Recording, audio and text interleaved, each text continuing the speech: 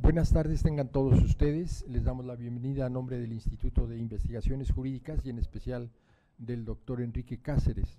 Vamos a continuar con el desarrollo del evento del día de hoy, la tarde de hoy, en donde tienen asignado los ponentes aproximadamente 15 minutos, podrán excederse de 5 minutos más por generosidad aquí del doctor Cáceres, y después de las exposiciones entraremos a una fase de preguntas y respuestas para ver los temas más importantes.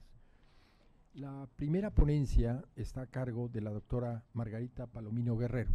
Sin embargo, por cuestiones de trabajo no nos va a poder acompañar y está en su lugar la eh, maestra Paloma Martínez González, quien va a dar lectura a la ponencia que tenía preparada la doctora Palomino Guerrero y eh, ella tratará de contestar las preguntas que haya al respecto y si no las sabe contestar, pues las inventará porque vamos a esperar la respuesta de ella todos sabemos quién es la doctora eh, Margarita Palomino, es una colaboradora del Instituto de Investigaciones Jurídicas, vieja conocida para todos nosotros.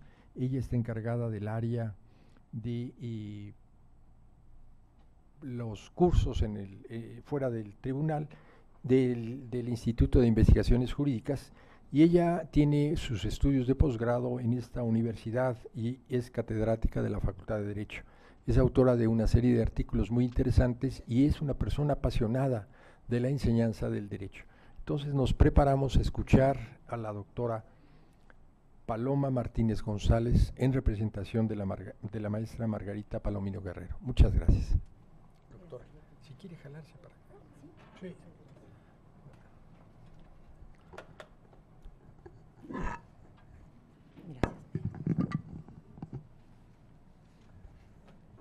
Buenas tardes a todos y todos. Eh, me pide la doctora Margarita, los disculpe por no poderlos acompañar el día de hoy, pero un compromiso institucional se lo impidió. Pero por mi conducto también me permite eh, que le agradezcamos al doctor Cáceres la invitación a participar en este segundo Congreso Internacional Metodología de la Investigación y Enseñanza del Derecho en la mesa denominada Enseñanza Judicial. Me permito dar lectura a la propuesta de la doctora Palomino denominada Metodología de la Investigación en la Formación de Juzgadores. A lo largo de casi una década, he tenido la oportunidad de dar seguimiento a los programas de posgrado que el Instituto de Investigaciones Jurídicas opera en convenio con diferentes instituciones. Pero me referiré específicamente a la vinculación con los tribunales o instituciones que prioritariamente los forman. De esta manera, he identificado que los esquemas de enseñanza tradicional se deben de modificar no solo por las nuevas tecnologías, sino además en México por la recepción de los tratados internacionales en nuestra legislación y la aplicación de los mismos a la luz de la reforma constitucional de junio del 2011, lo que nos obliga y obliga a nuestros tribunales a modificar las pautas y criterios de razonabilidad, es decir, ante los cambios legislativos se deben generar modificaciones de la propia sociedad y por ende del ser humano, en todos los ámbitos, y es que el aprendizaje puede haber, perdón, y es que puede haber aprendizaje pese a no contar con la formulación intelectual del mismo.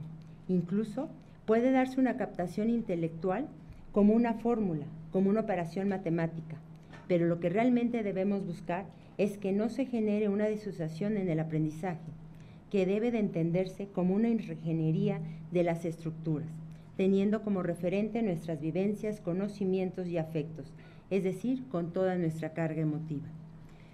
Por lo, que nuestra estructura, por lo que nuestra estructura cognitiva entonces, que se configura por factores internos y externos, puede reconocer y asumir cambios en la conducta, pero eso depende de qué y cómo se estructuran los esquemas propios. Y es que aquí, en donde encontramos la riqueza de lograr vincular el conocimiento teórico en sí mismo valioso con todo el cúmulo de experiencias de los impartidores de justicia. Recordemos que las cosas no se aprenden más por lo valiosas que son en sí mismas, sino por la validez que tienen para el sujeto en su contexto, es decir, cuando le es significativo. Partimos de reconocer que las relaciones entre la educación superior y el mundo del trabajo están determinadas por dos tendencias paralelas. La primera, un sistema escolarizado tradicional en aulas, con un modelo de memorización sin reflexión y que por ende rápidamente esta información pierde actualidad. Y segundo, la educación permanente para todos que debe de sustituir el modelo selectivo y periodos determinados, semestres, trimestres. Nosotros nos inclinamos por la segunda, pero para hacerla posible es necesario el uso de las nuevas tecnologías, en donde el conocimiento no se limite a un espacio en donde un especialista dicta su cátedra y sus palabras quedan registradas e impactan en sus alumnos que tuvieron la oportunidad de asistir a un aula. Pero la pregunta que surge es, ¿cómo podemos lograr que la educación sea permanente para todos y en cualquier momento podamos consultarla, organizarla y diversificarla, así como sensibilizarnos para lograr adaptarla a las necesidades de la sociedad y a las demandas del mercado de trabajo? En concreto, la educación superior y el posgrado deben de fomentar actitudes y capacidad de respuesta con la sociedad, porque la demanda de especialistas debe ser con una visión transversal para así dar respuesta a los problemas que permitan revitalizar las humanidades, las letras y las ciencias exactas, para conseguir relaciones reales entre la educación superior y la sociedad como una premisa para el desarrollo de la educación superior. Aquí es donde encontramos centros educativos, es aquí donde encontramos centros educativos que toman un papel relevante, porque la calidad, responsabilidad y libertad en la enseñanza e investigación son vitales. Pero libertad no es sinónimo de sinsentido, de obsoleto o parcial. Por esta razón, la investigación no es ni debe ser una imposición de modelos y principios exteriores, pero tampoco se debe de permitir negligencia falta de congruencia o ineficiencia. Es decir, la calidad y pertinencia en la investigación es fundamental. Lo anterior implica un proceso de rediseño institucional y, un redimensionamiento de las líneas de investigación que deben fomentarse a la luz de las necesidades de la sociedad y de la demanda de armonización legislativa, rediseño orgánico y competencial en la formación y actualización de los operadores de derecho. Es decir, los enfoques de ruptura en los paradigmas de la ciencia jurídica implican una reconsideración no solo disciplinar, sino transversal en la forma de investigar. La práctica y el acercamiento a la realidad mediante la argumentación jurídica son mecanismos que nos permiten estudiar, investigar, practicar y resolver los problemas, porque siguiendo el pensamiento de nuestro querido maestro Héctor Fixamudio, debido, cito, debido a la exageración, a la exageración tradicional de nuestros estudios jurídicos, abrumadoramente teóricos, se está abriendo paso entre los tratadistas latinoamericanos, deseosos de superar el abuso de la dogmática, una inclinación por los llamados estudios empíricos, siguiendo el ejemplo de un sector de los juristas angloamericanos, especialmente estadounidenses, el que ha enseñado de reducir el predominio de los que se han clasificado de manera peyorativa como book teacher, y superar la dicotomía en ocasiones insalvables entre los dos conceptos, the law in book y the law in action.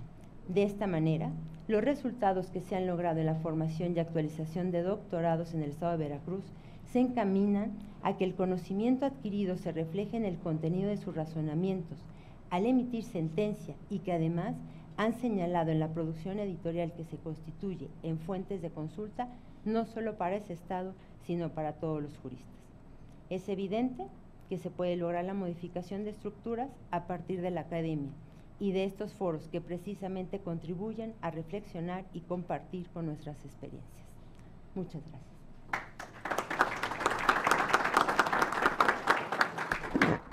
Como ustedes ven, se ciñó al tiempo establecido la ponencia de la doctora Palominos pero nos deja varias reflexiones. El, pensamiento, desde luego, que retoma del maestro Fixamudio, de que debemos de vincular más el aspecto teórico con el práctico, la experiencia que tiene la doctora Palominos con el trabajo que viene realizando desde hace casi 10 años con los tribunales superiores de justicia que se ve reflejado en la capacitación de los funcionarios judiciales, secretarios, proyectistas, jueces, magistrados, y eso ha hecho que se eleve el nivel y la calidad de las resoluciones judiciales de los funcionarios de nuestros tribunales.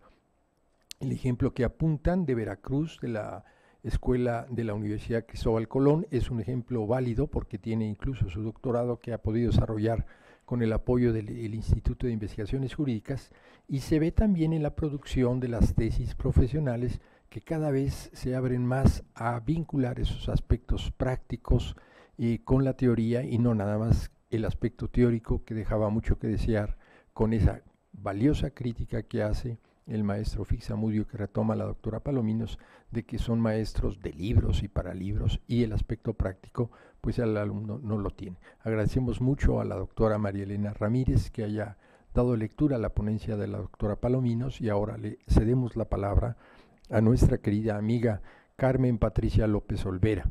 Ella es la encargada de la extensión de ciencias forenses de la Facultad de Medicina de la Universidad Nacional Autónoma de México. Tiene una licenciatura, tiene una maestría y, tiene una licenciatura en criminalística por el Instituto Tecnológico Superior de Sinaloa.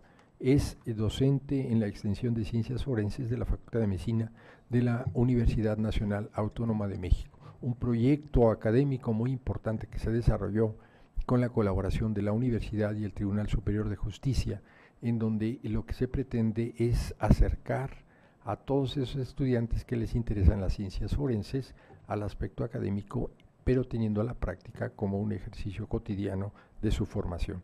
Nos preparamos a escuchar a la doctora Carmen Patricia López Olvera y le damos la bienvenida a nombre del doctor Cáceres y del Instituto de Investigaciones Jurídicas. Muchas gracias. Este, me gustaría hacer una aclaración. Soy docente en, en, ciencia forense que pertenece a la Facultad de Medicina, más no tengo un cargo de responsabilidad y soy doctoranda también para que espero dentro de pronto ya ser doctora, ¿no? Y bueno, el, el tema que les que me gustaría presentarles es, he denominado Judicial Training. Recientemente he presentado un artículo para el Instituto de la Judicatura Federal, entonces lo que presento aquí forma parte de, de ese artículo para el Instituto de la Judicatura. Al respecto del contenido, bueno, este, vamos a ver una pequeña introducción acerca del perfil del juez en el contexto mexicano, instituciones con programas para la capacitación judicial, ¿Qué se entiende por competencias judiciales? Taxonomía de competencias judiciales, estrategias de evaluación para la medición de las competencias judiciales y tengo un punto para discusión sobre la resistencia al cambio conceptual de los operadores jurídicos y en especial los jueces y algunas consideraciones finales o conclusiones. Bueno, actualmente nosotros en redes sociales podemos observar videos como este, juez hace berrinche y rompe silla que no le gustó, exhibiendo jueces por no estar certificados, y en reporte índigo tenemos juez tirano boicotea juicio oral. Algunas cuestiones como esas que he observado en, redes sociales me, me, hace pensar que actualmente en nuestra sociedad existe falta de certeza y credibilidad hacia nuestros juzgadores, ¿no? Entonces, la sociedad se ha vuelto como juzgadora de la actitud, de los comportamientos de los propios juzgadores. En ese sentido, considero que a veces se justifica y a veces no se justifican tanto las, las críticas que realiza la sociedad hacia nuestros juzgadores. Lo que sí considero que es cierto es que necesitamos un cambio en la actitud de los jueces, jueces más empáticos, con sensibilidad mucho, mucho más social, ¿no? A partir de esto me surgen algunas preguntas como ¿cuál es el perfil ideal? Ya se han, ya se han hecho trabajos al respecto del, del, perfil ideal, sin embargo no tenemos tanto trabajo descriptivo acerca de cómo es el perfil del juez. Simplemente hay mucho más trabajo al respecto del perfil ideal.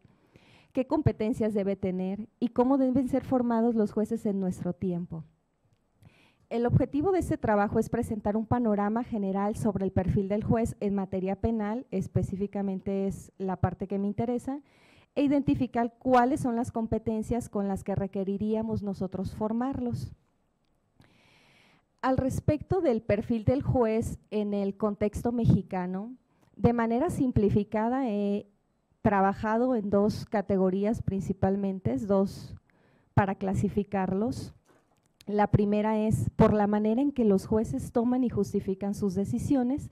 Tenemos jueces positivistas, tenemos jueces torquinianos, jueces alexianos, que incluso señalan en sus decisiones, en sus sentencias, estar, estar haciendo ponderación de principios a la manera que generalmente nosotros entendemos a Robert Alexi, que como sabemos puede ser bastante complejo y tenemos otros jueces heterogéneos que a veces este, en sus decisiones las, las realizan de determinada manera y en otras ocasiones de otra. pero teniendo tantas distintas maneras en que los jueces toman sus decisiones, me hace pensar qué tipo de decisiones necesitamos, cómo vamos a formarlos para que las decisiones estén justificadas con base en, un teórico o en otro, qué necesitamos nosotros al respecto para, para prepararlos a ellos para la manera en que tienen que realizar la toma de decisión, ¿no? ¿Qué tipo de formación ideal podríamos proporcionarles? Este, hay otra manera también que he señalado aquí, que es por la manera en que conducen sus audiencias. Tenemos algunos jueces que son muy formalistas, otros no son tanto tan formales y por otra parte tenemos jueces informales. Para la preparación judicial, ya hay algunas instituciones a nivel internacional que se están preocupando y principalmente realizando programas de capacitación judicial basados en competencia. Señalo aquí algunas de estas, que es CEJA, tenemos también Canadian Institute for the Administration of Justice, tenemos the Australasian Institute of Judicial Administration, tenemos International Organization for Judicial Training, que es principalmente uno de los que me interesan, al igual que el European, European Justice eh, Training Network. Estos son de las principales instituciones que están trabajando a nivel internacional el tema de competencias para la capacitación judicial. Y bueno, en México actualmente quien trabaja un plan eh, basado en competencias judiciales es el Instituto de la Judicatura Federal. El Instituto de la Judicatura Federal en su plan de trabajo de 2017 ha señalado como competencia judicial como el conjunto de conocimientos, habilidades y aptitudes para desarrollar adecuadamente la función jurisdiccional, tales como argumentación jurídica, redacción judicial, razonamiento probatorio, entre otras que estén bien calificadas o no como competencias judiciales, habría que, habría que analizarlo. ¿no? Este enfoque por competencias planteado por el Instituto de la Judicatura es coherente con lo que, con lo que se está trabajando en otros, en otros países, principalmente de las instituciones que les he mencionado. En Australia, por ejemplo, al respecto de la taxonomía de competencias judiciales, ellos la han dividido en cinco habilidades principales y cualidades asociadas. La primera es conocimiento y habilidad técnica, comunicación y autoridad, toma de decisiones, profesionalismo e integridad, eficiencia, liderazgo y gestión. El trabajo de ellos cubre conocimiento al respecto de qué es la ley, habilidades técnicas, la correcta aplicación del conocimiento en las audiencias a un caso individual en particular. Por otro lado, son habilidades no técnicas, tales como la comunicación, control de audiencias, gestión del tiempo en la audiencia, cualidades personales como el compromiso con la equidad, tolerancia, sensibilidad a la diferencia, es decir, ser empáticos y algunas otras necesidades particulares. Por cada una de las habilidades asociadas, ellos tienen algunas tablas para hacer la representación, ¿no? Por ejemplo, en el primero que se trata de conocimientos y habilidades técnicas, algunas cualidades relevantes serían la concientización por parte del juez, compromiso también con estándares de calidad, habilidades básicas, el conocimiento profundo de la ley, y al respecto de cómo deben ser mostradas esas habilidades, tienen control a procedimientos judiciales mediante gestión justa y eficaz, aplica correctamente los principios jurídicos, conducir adecuadamente los procedimientos de acuerdo con las normas del procedimiento, identifica lógicamente problemas críticos, absorbe y analiza datos fácticos complejos. Algo que me gustaría señalar al respecto de esto, bueno, es que sí se ve muy bonito aquí el cómo deben ser mostradas esas habilidades. Sin embargo, los conceptos son muy vagos. ¿Cómo voy a medir yo efectivamente si el juez en este caso está mostrando o no esta habilidad que me señala aquí de la gestión justa y eficaz? Es demasiado vago ese criterio, entonces todavía hay mucho más trabajo que se tiene que, que ir definiendo. Por otra parte, en, comunicación y autoridad, firmeza sin arrogancia sería una cualidad relevante, al igual que cortesía, la paciencia, tolerancia, equidad, sensibilidad, compasión y autodisciplina. Las habilidades básicas establece y mantiene la autoridad del tribunal y se comunica eficazmente. Cómo deben mostrarse, controla procedimientos judiciales por medio de gestión e intervención, mantiene imparcialidad y disciplina en los tribunales, trata apropiadamente con partes, testigos, víctimas, se comunica eficazmente, oralmente y por escrito, es cuidadoso en el uso del lenguaje, muestra sensibilidad a las necesidades de comunicación específicas por razones de lenguaje o discapacidad. Trata apropiadamente con partes, testigos, víctimas, representantes y una de escucha activa, además de mostrarse tranquilo y autoritario a pesar de los comportamientos provocativos que puedan tener las partes en un juicio oral. Tenemos también que elabora decisiones claras y razonadas con una concisión apropiada. Al respecto de la toma de decisión, la cualidad es decisivo, confianza, coraje moral, independencia e imparcialidad. Habilidades básicas, buen juicio, ejercicio adecuado de la discreción y cómo deben mostrarse, evaluar objetivamente e imparcialmente las pruebas, pasa adecuadamente la suficiencia y la calidad de la evidencia, adopta decisiones firmes y seguras, antes de pasar a la siguiente tabla, me, gustaría hacer un señalamiento acerca de la importancia que tiene aquí la, parte en que, en que el juez pesa adecuadamente la suficiencia y la calidad de la evidencia, sobre todo cuando es tan complicado en un proceso, en, un, en una audiencia de juicio oral en el que las partes están haciendo determinadas preguntas en las que quieren inducir cierto modelo mental en el juez a partir de la información que va fluyendo a través del interrogatorio y contrainterrogatorio, ¿no? Entonces, esta parte para el juez sería muy, muy complicada, pesar eficientemente las pruebas y valorarlas cuando todo depende de las preguntas que vayan haciendo las partes y él no está en posibilidad en ocasiones de hacer preguntas si, no es información que en ese momento vaya surgiendo en el juicio oral. Adopta decisiones procesales oportunas y apropiadas hace juicios interlocutorios firmes y claros, promulga decisiones con la expedición apropiada y trata a los involucrados de manera equitativa. Otro de los puntos es el profesionalismo e integridad.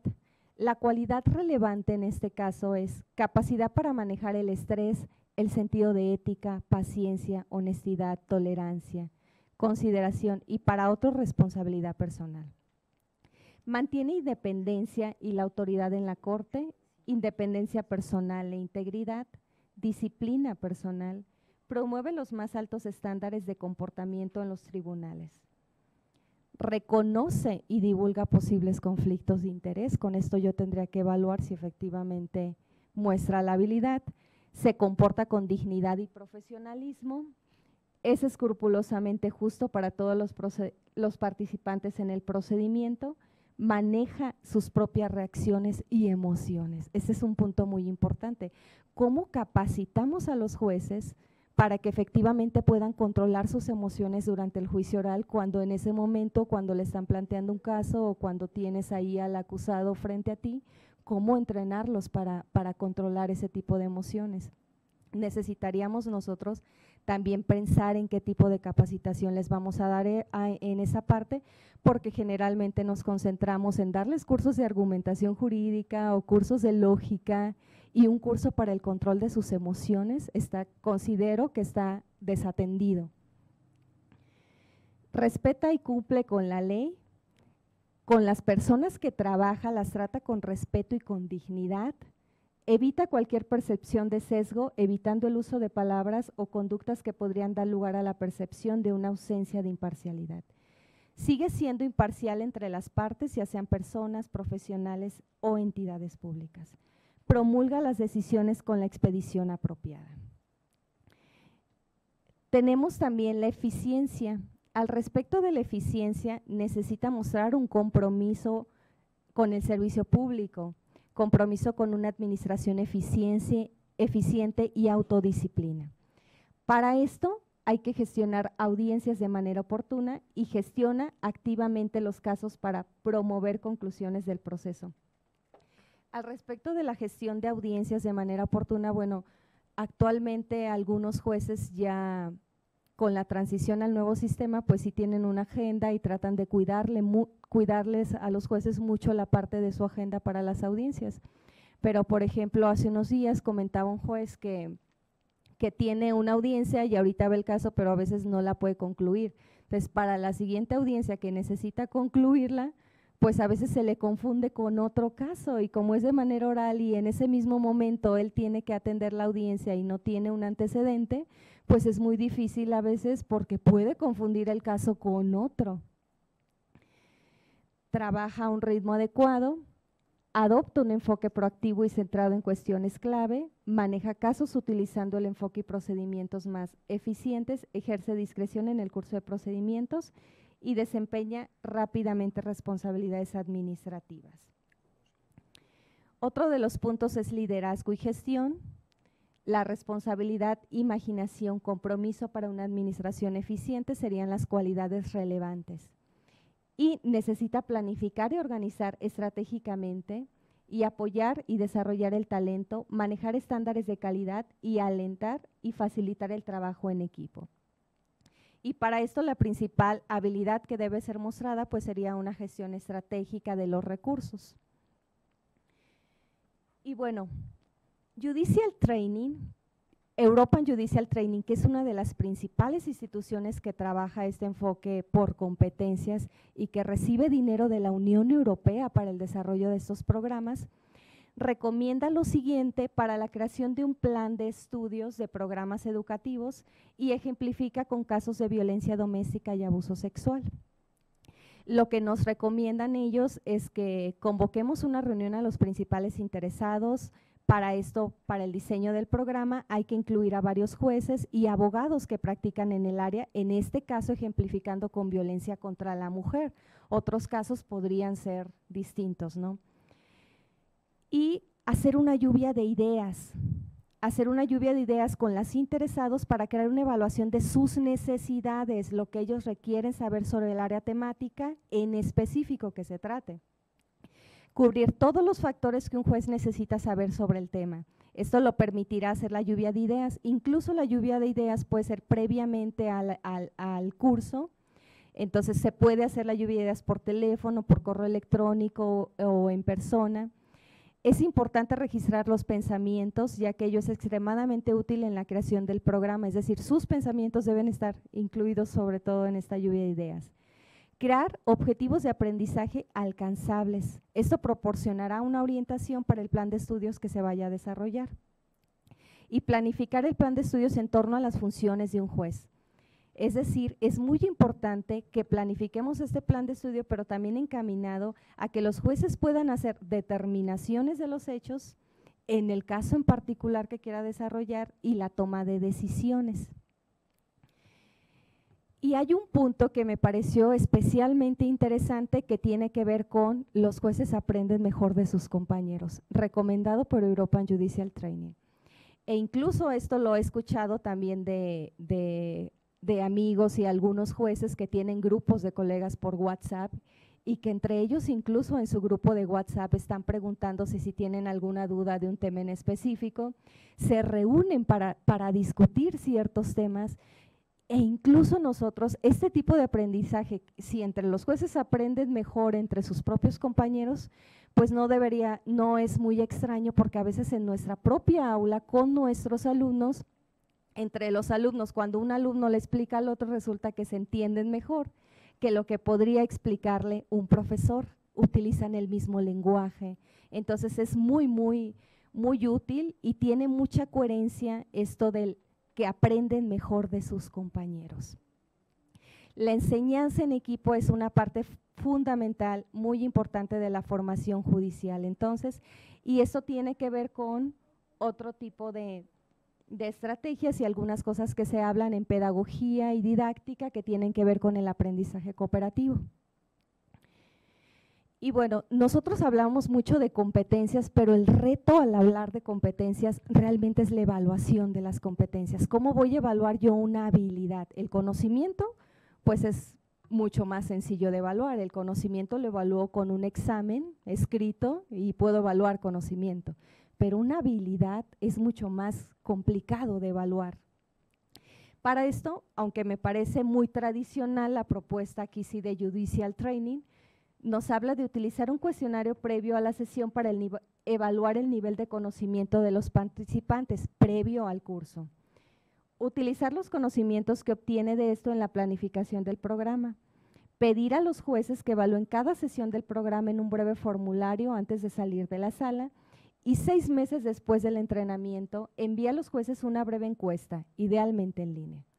Vincular el cuestionario de evaluación previo a la sesión, la evaluación realizada al final de la sesión y la encuesta final después de la sesión con un número de identificación para que pueda ver cómo ha avanzado cada uno de los participantes. Y bueno, hasta aquí el tema de las propuestas que hay a nivel internacional para la, evaluación de las competencias judiciales y cuáles deberían ser las competencias judiciales.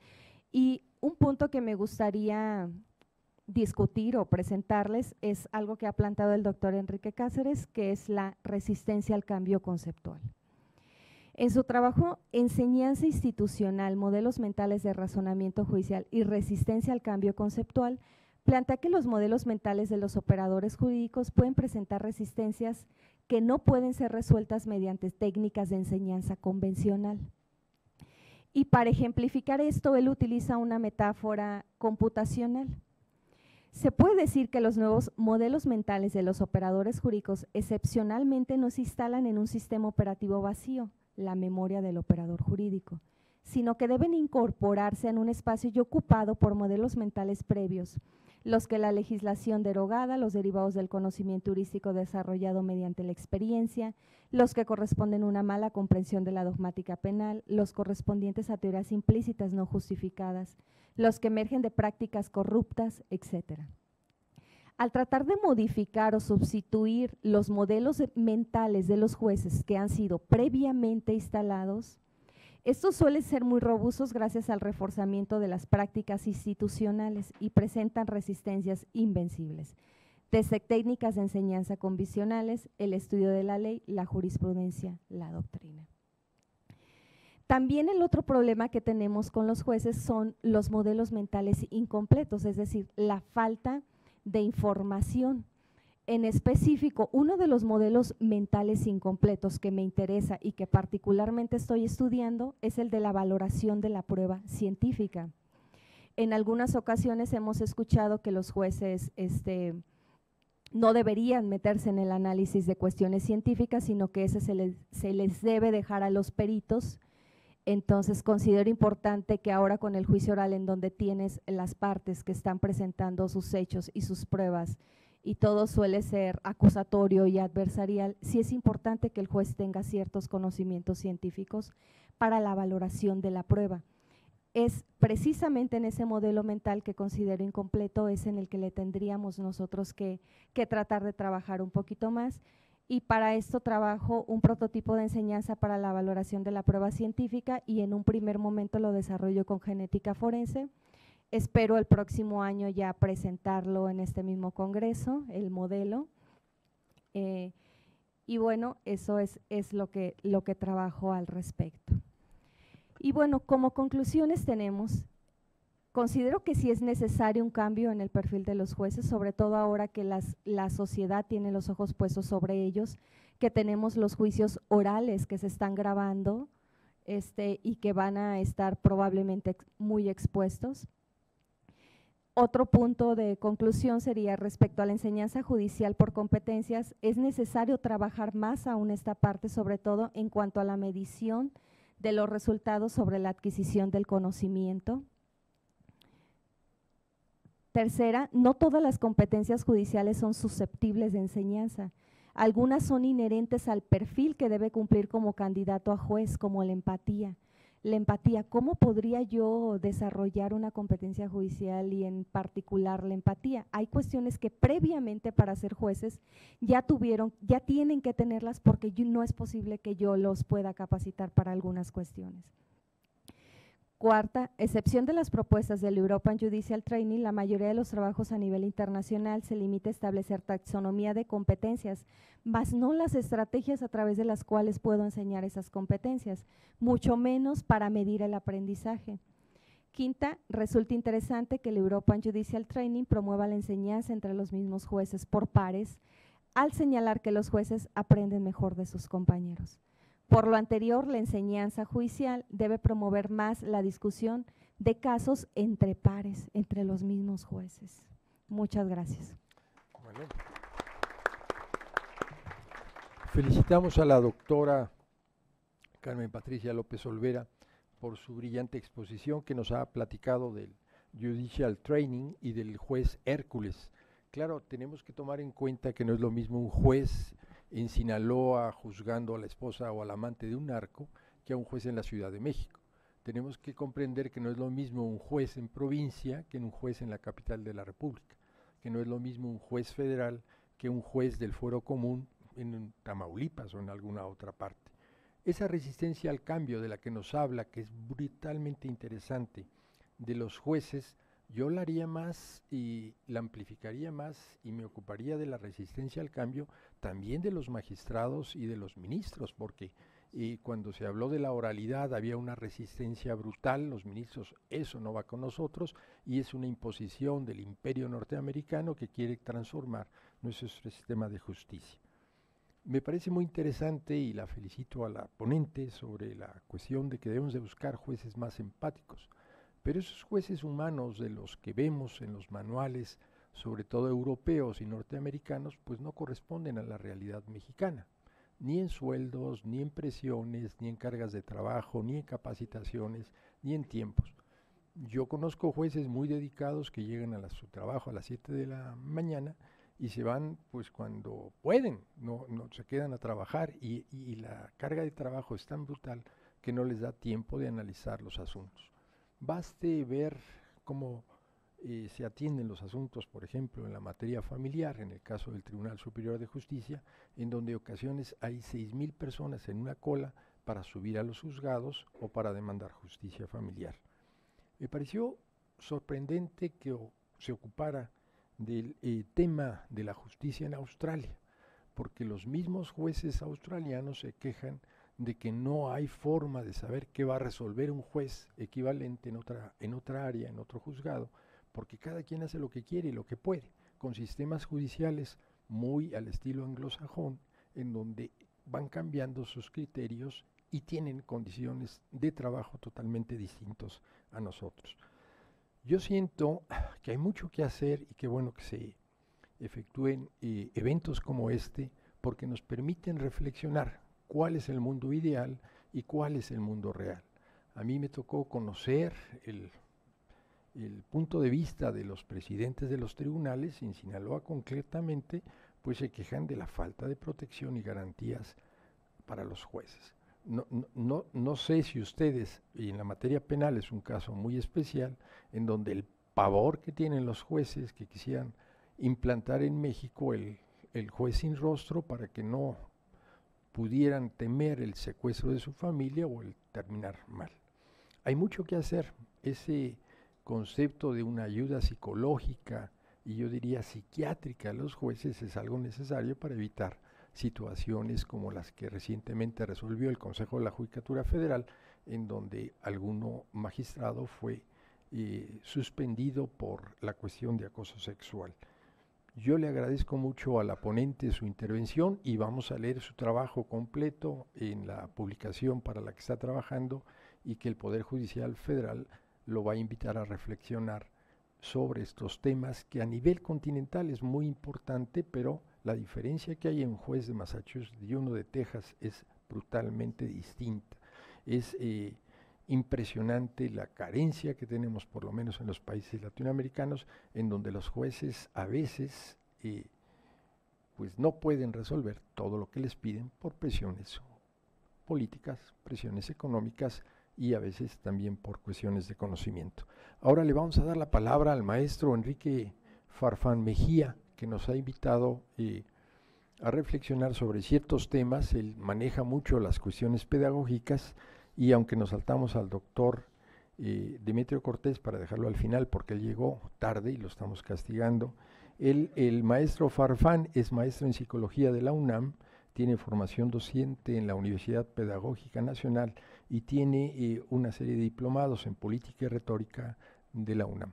Él es un reconocido especialista en cuestiones de argumentación y, tiene su doctorado en educación precisamente por la Universidad Autónoma de Sinaloa. Tiene una experiencia docente muy, muy, muy valiosa porque él ha ido evolucionando desde el preescolar, la primaria, la secundaria, la licenciatura y ahora se desarrolla con mucho éxito en cuestiones de doctorado. Tiene la palabra doctor Farfán. Muchas gracias. Gracias, magistrado. Pues es para mí un honor estar en esta mesa. Eh, gracias a mi tocayo Cáceres por invitarme y yo sigo diciendo que aquí se está definiendo una, un nuevo campo disciplinar en estos congresos que por años eh, se está yendo el tiempo, pero, pero eh, el mismo congreso va evolucionando. Es muy interesante advertir el perfil que van tomando las, las ponencias y pues en ese contexto agradezco el que nos hayan considerado eh, para estar aquí. E, esta, esta ponencia está articulada con otra más que tendrá lugar en unos momentos, que presentará la doctora Marilena Ramírez, y que tiene como contexto de reflexión eh, la formación pedagógica que se está llevando a cabo en el Tribunal Superior de Justicia de la Ciudad de México, especialmente en la materia familiar. Eh, son cinco años que tengo ahí eh, colaborando como asesor pedagógico en una invitación que me hicieron y que todavía sigo agradeciendo porque me ha acercado a una nueva posibilidad de la pedagogía eh, y que, debo decirla, los abogados se han adelantado, ¿eh? los pedagogos creo que todavía no han reaccionado suficientemente a lo que está pasando aquí. Eh, hay más abogados preocupados por la pedagogía que pedagogos preocupados por la enseñanza del derecho. Y desde ahí es de donde yo quiero hacer esta comunicación, eh, desde una perspectiva pedagógica. Eh, la ponencia que me antecedió, eh, si me permiten hacer un comentario, presenta un, un, interesante, un magnífico análisis de una taxonomía analítica desde el propio conocimiento del derecho, ¿verdad? Lo, lo estableció así quien me antecedió. Y en este caso voy a tratar de compartir con ustedes una serie de reflexiones desde una taxonomía pedagógica que se ha nutrido de lo que es el trabajo formativo en otras profesiones. Eso eh, también lo quiero destacar, es desde ahí. La pedagogía es muy, muy amplia y el campo desde el cual estaré compartiendo estas reflexiones es la pedagogía de las profesiones. Bien con esta pregunta quiero, quiero iniciar. Eh, ¿Cuáles son las lógicas formativas por las que transita la preparación de los profesionistas del derecho? Eh, hay un sinnúmero de preguntas que se podrían hacer, eh, pero en esta, en esta ocasión considero que hacer este planteamiento y tratar de responderlo permite dar un panorama, ¿verdad?, desde lo pedagógico, sobre un tema que eh, pues está eh, sumamente en el ojo del huracán en México, que es la formación de jueces. Se destina una cantidad de recursos impresionante, es una, es una reforma profesional que históricamente eh, no, es, no es fácil encontrar otro parangón eh, si, si fuera el caso, las reformas que se llevan a cabo para los docentes de educación básica se podría acercar. Pero en este caso, eh, si, si, hacemos, si vemos que mientras que en el caso de la educación básica se habla de decenas de miles de docentes, aquí no alcanzan a ser, son muy numerosos. Los jueces, pero no son tantos, como es el caso de los profesores de educación básica y sin embargo la cantidad de recursos que se ha destinado es impresionante. Pero dentro de, esa, de ese destino no hay un modelo eh, pedagógico, no hay uno, hay muchos. Y quizás en algunos casos ni siquiera hay modelo. hay acciones pedagógicas o hay acciones que podrían decirse después que son pedagógicas por quien las juzga, pero que intrínsecamente, mm, desde el punto de vista de lo que es la definición profesional de la pedagogía, quizás no alcanzarían a cubrir esos rasgos. Eh, déjenme usar la expresión amateurs. En algunos casos lo que hay son ejercicios amateurs sobre la formación de los profesionistas del derecho. Así es como el planteamiento que, quisiera yo eh, decir para poder que plantear esta pregunta. Y como ahí dice, pues especialmente nos vamos, voy a tratar de centrar el análisis de esta pregunta en lo que es la formación de los jueces. Eh, puntualizando la justificación que aquí hago en, esta, en, estas dos, dos, en estos dos enunciados, eh, pareciera algo obvio, pero eh, vuelvo a decirlo, creo que la situación que se está pasando en México hace necesario destacar esas aparentes obviedades.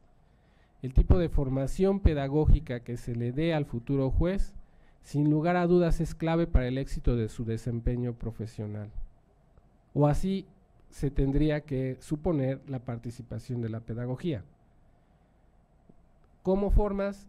cómo te desempeñas en la profesión. Sería más o menos esta, esta forma de justificar el por qué preocuparnos por estas cuestiones pedagógicas.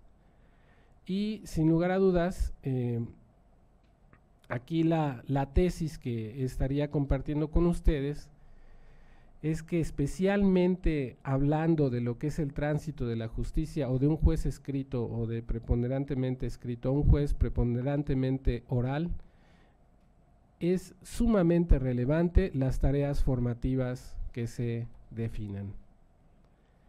Con esas dos tesis, entonces, lo que quiero compartir con ustedes es eh, una serie de reflexiones que buscan valorar el impacto que tienen las decisiones pedagógicas jurídicas en la formación de jueces. Y eh, quiero compartir con ustedes que la idea de lógica eh, en la formación vendría a referir ese conjunto de significados, principios y objetivos que dan sentido a la tarea pedagógica. O sea, no es una lógica didáctica, que hay veces que eso es lo que está pasando con la pedagogía jurídica, es una lógica más bien didáctica y, aquí tendríamos que reconocer que la lógica de formación tiene componentes epistemológicos, como cuáles, como la definición que nos van a llevar implícitamente a tener de lo que es el aprendizaje, la enseñanza, los contenidos de aprendizaje, la definición de juez, la definición de ley y de justicia. No es eh, aséptica la, la pedagogía, o sea, no es que con cualquier pedagogía se puede pensar la formación de cualquier profesional, sino que la definición pedagógica prácticamente está marcando el camino que, la, que, lo jurídico va a ir articulando o en dónde lo jurídico se va a ir articulando en estas categorías específicas. Eh, la tesis eh, eh, entonces tendría implicaciones prácticas muy, muy, muy, muy poderosas porque no tendríamos que esperar a 10 años como algunos dicen para ver los resultados de lo que se puede dar en las reformas, sino que con las decisiones pedagógicas que se están tomando ya podemos más o menos intuir qué va a pasar. Y en algunos casos, lamentablemente, como ahorita lo veremos, pues el fracaso está anunciado. Bien, voy a poner un ejemplo, porque no, no da tiempo para una comunicación breve como esta, desarrollar eh, todas las implicaciones que se pueden dar alrededor de cada uno de estos conceptos. Voy a elegir solo uno, eh, lo que puede ser el concepto de juez, dentro de eh, lo que van a ser diferentes lógicas de formación, que enseguida voy a presentar.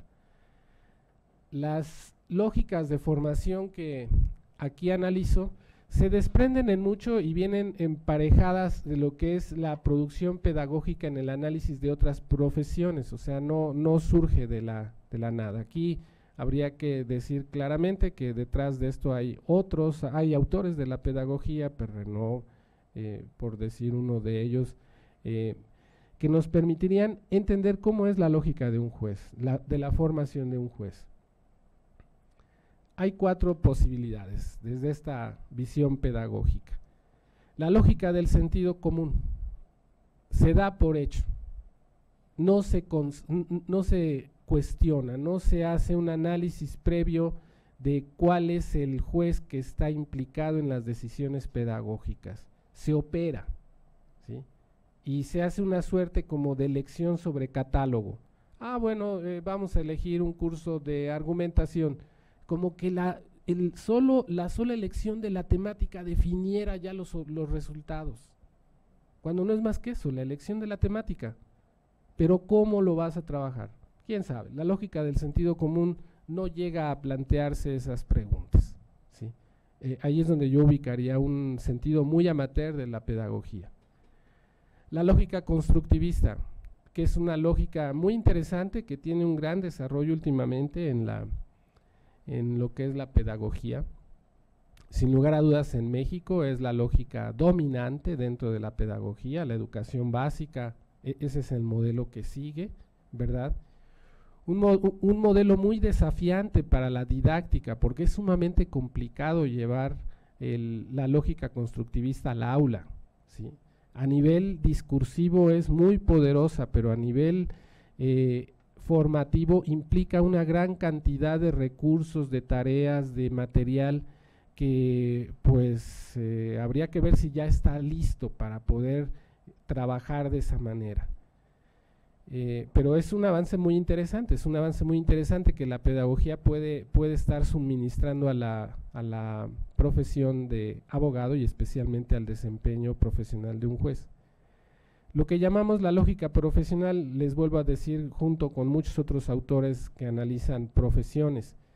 ¿Qué es lo que están pensando ahí? Bueno, una lógica profesional es un campo en el cual una serie de individuos identifican un conocimiento especializado, un conocimiento que se adquiere en las universidades, que hay un monopolio sobre ese conocimiento, pero que no es solamente el conocimiento que define a la profesión. Hay también una cantidad de conocimiento que no está en los libros.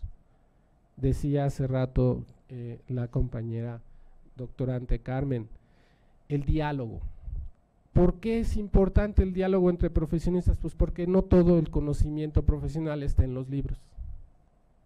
Y es más, no todo el conocimiento profesional ha sido verbalizado. Por eso hay otros dispositivos que también son importantes para acompañar esta lógica profesional, como son las pasantías, por ejemplo. Estar junto a otro que hace las cosas admirablemente, ¿no? O sea, es un profesionista admirable, yo trabajo con él, hay mucho de lo que yo veo que él hace que no alcanzo a verbalizar porque es efectivo, pero lo copio. ¿sí? Así es una tradición formativa que, ha sido muy exitosa desde miles de años prácticamente. Y por último, la lógica formal jurídica, que bueno, esa la, la han analizado mucho, es una lógica eh, centrada en, el, en, la información, en la memoria, ¿verdad?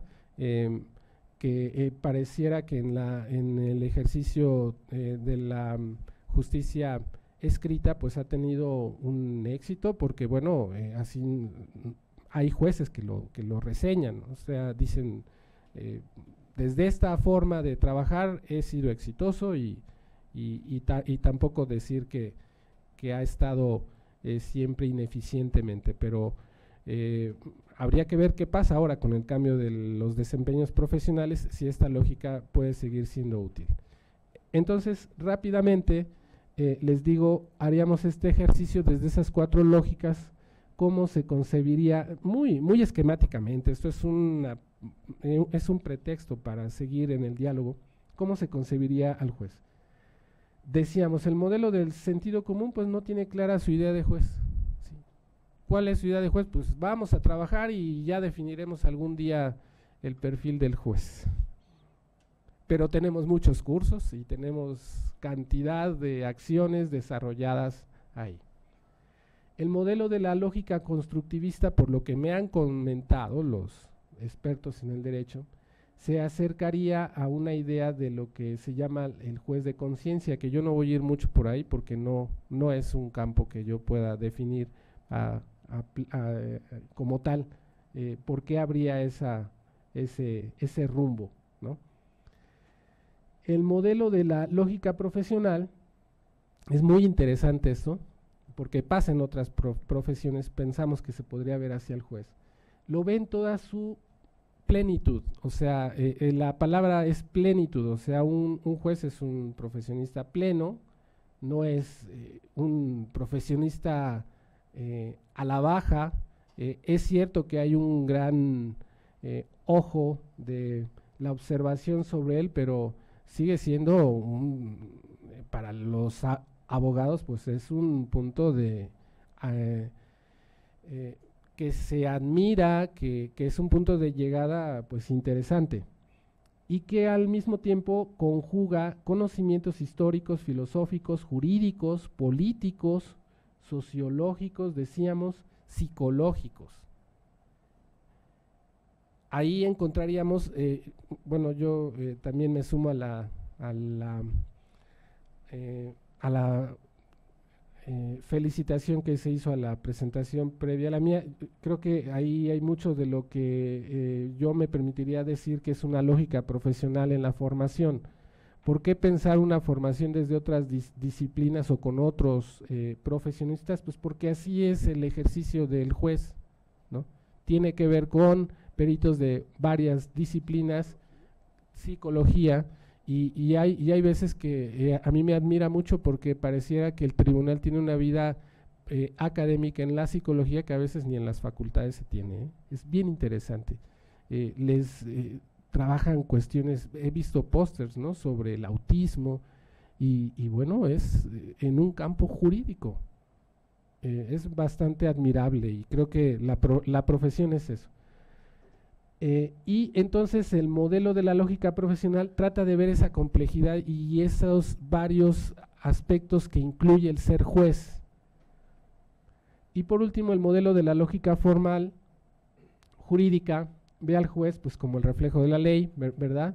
Como el aplicador de leyes que opera desde la lógica formal como tal y por, lo, eh, por tanto pues enfatizará aspectos intelectuales, memoria, eh, por ahí estaría.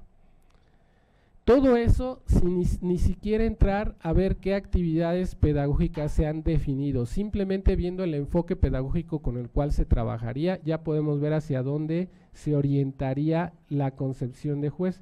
Y ahí podríamos preguntarnos, bueno, eh, qué elección se ha hecho y qué, y qué juez se está pensando cómo opera cada modelo y con esto concluiría muy brevemente mi, este, este, acercamiento.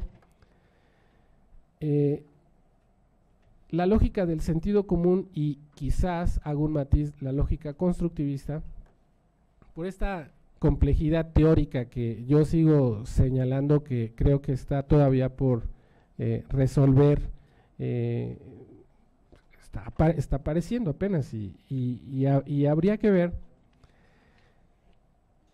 que puede haber problemas en la organización de las actividades propuestas. puede haber problemas en la presentación de cursos que no están graduados, sobre todo en la lógica del sentido común.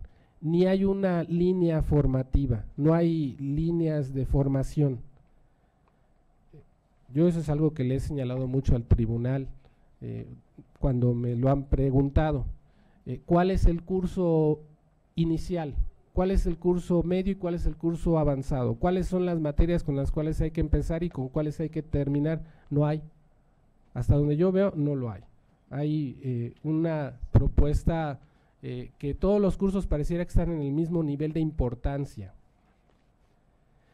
Y, y evidentemente hay una dificultad para que en ellos el juez en formación aproveche el conocimiento que genera en su propia práctica.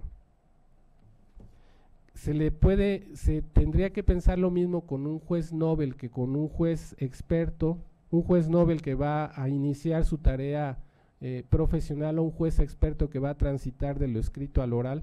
No, pero aquí pareciera que esos matices no lo hay. entonces puede haber una desconexión entre lo vivido en el curso y la vida profesional. La lógica formal jurídica va a enfatizar el dominio de la ley el aprendizaje. Eso lo he visto mucho cuando, eh, bueno, es mi, es, perdón, eh, tengo que decir, es mi opinión, es mi vivencia. Cuando se invita a algunos eh, expertos jurídicos a definir los cursos que deben de tomarse para que otras personas se formen jueces, lo que dan es un largo listado de contenidos. Mientras más largo pareciera que mejor. O sea, hay una idea de que un buen curso es el que tiene muchos contenidos. ¿Sí? Y, ok, la tarea del juez es muy compleja, pero todos tendrían que ir en un curso, todos los contenidos tendrían que ir en un curso o se tendrían que graduar. Lo que generalmente hacen las profesiones es graduar y establecer niveles de ejercicio profesional, que es algo que también está en la dinámica pedagógica actual. Identificar niveles de desempeño novatos, intermedios, expertos. Y aquí lo que yo he visto es que no se hace esa graduación. Y sobre todo se da mucho peso a la cultura escrita. Eh, hay pocos espacios de ejercicio oral y entonces tendría que cuestionarse si resulta operante para formar jueces orales. Evidentemente se centra solo en la memoria, la memoria es necesaria siempre, pero no es el destino, es el medio para llegar a otras habilidades y pues el doctor Cáceres ahí ha dado cátedra mucho al respecto. Eh, y didácticamente se opera mucho a través de cursos expositivos. Llega alguien, da un curso y eh, es un buen docente porque domina el contenido y, y a todo mundo lo deja impactado por su dominio de contenido y él es un experto, pero eso no quiere decir que los alumnos están volviéndose expertos. ¿No? se corresponde con la práctica del juez en ese sentido porque no solamente hay que ser memorista eh, o, la memoria no es, no es suficiente para un desempeño profesional tan complicado como el que desarrolla el juez. Y la lógica profesional, por último, eh, creo que para más eh, breve descripción, yo creo que es un poco o mucho de lo que señaló antes la doctorante Carmen Patricia, los modelos que se siguen en otros países. Pero añadiría algunos elementos que eh, creo que no se dijeron. Digo, no se tenían que decir, esta es mi presentación y la de la doctorante es otra, ¿no? no es su obligación, lo digo claramente. Pero una de ellas es la reflexión sobre la práctica la posibilidad de reflexionar sobre la práctica es una instancia formativa que ha resultado estupenda en muchas profesiones, a través de diferentes estrategias didácticas, pero que esa posibilidad esté, esté presente. Recuperar los, los saberes cotidianos, los saberes cotidianos que todavía están por estructurarse en programas eh, formales de, los jueces, ¿no? O sea, cómo administras tu juzgado, cómo te relacionas con otros jueces, eh, eh, etcétera. Eh, hay algo que, hemos advertido y yo fui testigo de, una articulación conceptual muy interesante que la dejo, seguramente quizás en otra ocasión podríamos abundar más. Em, en materia familiar, la preocupación por una formación integral del juez con estas características que se consideraron llevó a acercarse a una recuperación del acto retórico como esa posibilidad de, incluir la parte emocional, la parte intelectual, ¿sí? y también eh, hay una parte que hay que decirla, el ejercicio, el acto de la verbalización misma, ¿sí? Eh, no estoy usando los términos, pero si los pudiera decir, es lo que tradicionalmente se ha referido como el etos, el patos y el logos. En el acto retórico eh, clásico. Y ese acto retórico permite estructurar muchos conocimientos que están dispersos, que son muy importantes. E, en otra, en otra ocasión quizás los, los podríamos eh, señalar. Y pues bueno, decir de que, de que esta lógica profesional ha sido la que yo he podido vivir como testigo eh, en el proyecto que han guiado eh, los, los, magistrados familiares en el Tribunal Superior de Justicia para propiciar o para promover el tránsito de los jueces escritos a lo que es la oralidad en la materia familiar, les decía. Eh, y pues les agradezco su atención. Bueno, le, agradecemos muchísimo al doctor Farfán su plática, que tiene un gran contenido de carácter pedagógico y psicológico. Él se lamenta del incremento del gasto de los recursos de los tribunales para la preparación de los jueces que no arrojan un resultado positivo y que él eh, se sorprende que cada vez se canalicen mayores cantidades de dinero para formar mejores juzgadores. Estamos bien en nuestras decisiones pedagógicas, él se cuestiona y él siente que hay un fracaso en términos generales, un fracaso anunciado en todo el sistema educativo nacional. Y es algo que nos invita también a la reflexión de que estamos muy preocupados por la formación del juez y no nos ocupamos de la formación de los abogados. Yo creo que el cambio de actitud, el cambio de mentalidad, ese de olvidar, aprender nuevas actividades, también debemos de enfocarlo en la labor que debieran de hacer las escuelas en términos generales. Por eh, cuestiones relacionadas con el Instituto de Investigaciones Jurídicas hemos estado presentes en muchos eh, modelos educativos, algunos de ellos tan interesantes como el del CIDE, que se planteó la posibilidad a principios del año 2000 de crear una carrera a base de casos, después logramos con Oriega Editores crear una serie que iba a suplir lo que antes fue Harla y Oxford University Press, los libros que salieron del sistema de educación continua de la Facultad de Derecho, pero sí hay mucho que hacer eh, por la formación, yo siento, de los abogados. Y algo que no hemos tocado, el tema que deberíamos de tocarlo en términos generales en próximos congresos como este, es eh, en los procesos de selección de los jueces. Hay lugares en donde el juez es electo por parentesco, por relaciones, por amistad, no por capacidad, y lo peor es que puede ser el más sabio del grupo, pero no el más capaz de poder conducir un juzgado, de tener una capacidad administrativa para poder tener una empatía con su personal y sobre todo dejar reflejada la, eh, lo que se busca, que sus sentencias sean realmente formativas. Yo le agradezco mucho eh, al maestro Farfán su eh, cátedra y sobre todo que nos haya invitado a reflexionar de cómo concebimos al juez ideal que refuerza la eh, magnífica conferencia de la doctora Olvera, López Olvera. Y ahora para no darle la palabra al final a la maestra y María Elena Ramírez, que también llegó tarde por estar trabajando seguramente, porque el doctor Cáceres le modificó el horario, le vamos a dar la palabra para que en 15 minutos nos exponga lo que está haciendo, lo que se puede hacer y lo que se debe de hacer en materia de formación. Ella tiene una doble ventaja. Ella ha estudiado su carrera en la Facultad de Derecho, ha sido maestra durante muchos años, pero ha sido una funcionaria judicial.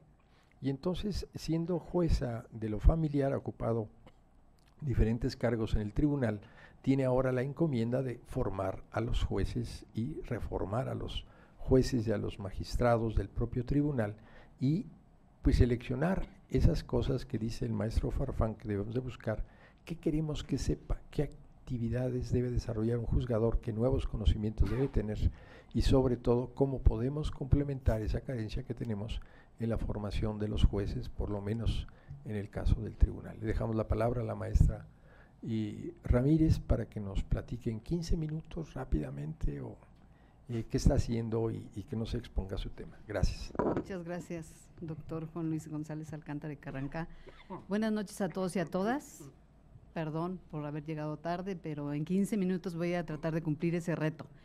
Eh, le agradezco a mi estimado amigo, el doctor Enrique Cáceres Nieto, por haberme invitado a compartir este tema. Aclaro, no soy experta pedagoga ni psicóloga, únicamente vengo eh, con la libertad de dar una pequeña reflexión en el camino que, recorrimos los jueces familiares en la implementación de la oralidad. Hay una frase que me gusta mucho que eh, dice que el aprender es importante y el aprender al aprender es aún más. Pero saber por qué aprendo es fundamental. En el año de 2011 se inició en el seno de la justicia familiar de la Ciudad de México un trayecto muy importante que es la implementación de los juicios orales familiares, aún sin la reforma. El tránsito de la justicia oral de corte adversarial, como todos sabemos, es reciente en México. El mandato constitucional del 2008 se planteó y se enfocó a un sistema de justicia penal. En ese proceso participaron muchos académicos y, e integrantes de la sociedad civil, tomando la iniciativa de la reforma, y lo lograron. Esta reforma tenía que implementarse en un término de ocho años. Algunos estados como Chihuahua empezaron el tránsito de la oralidad aún sin la reforma.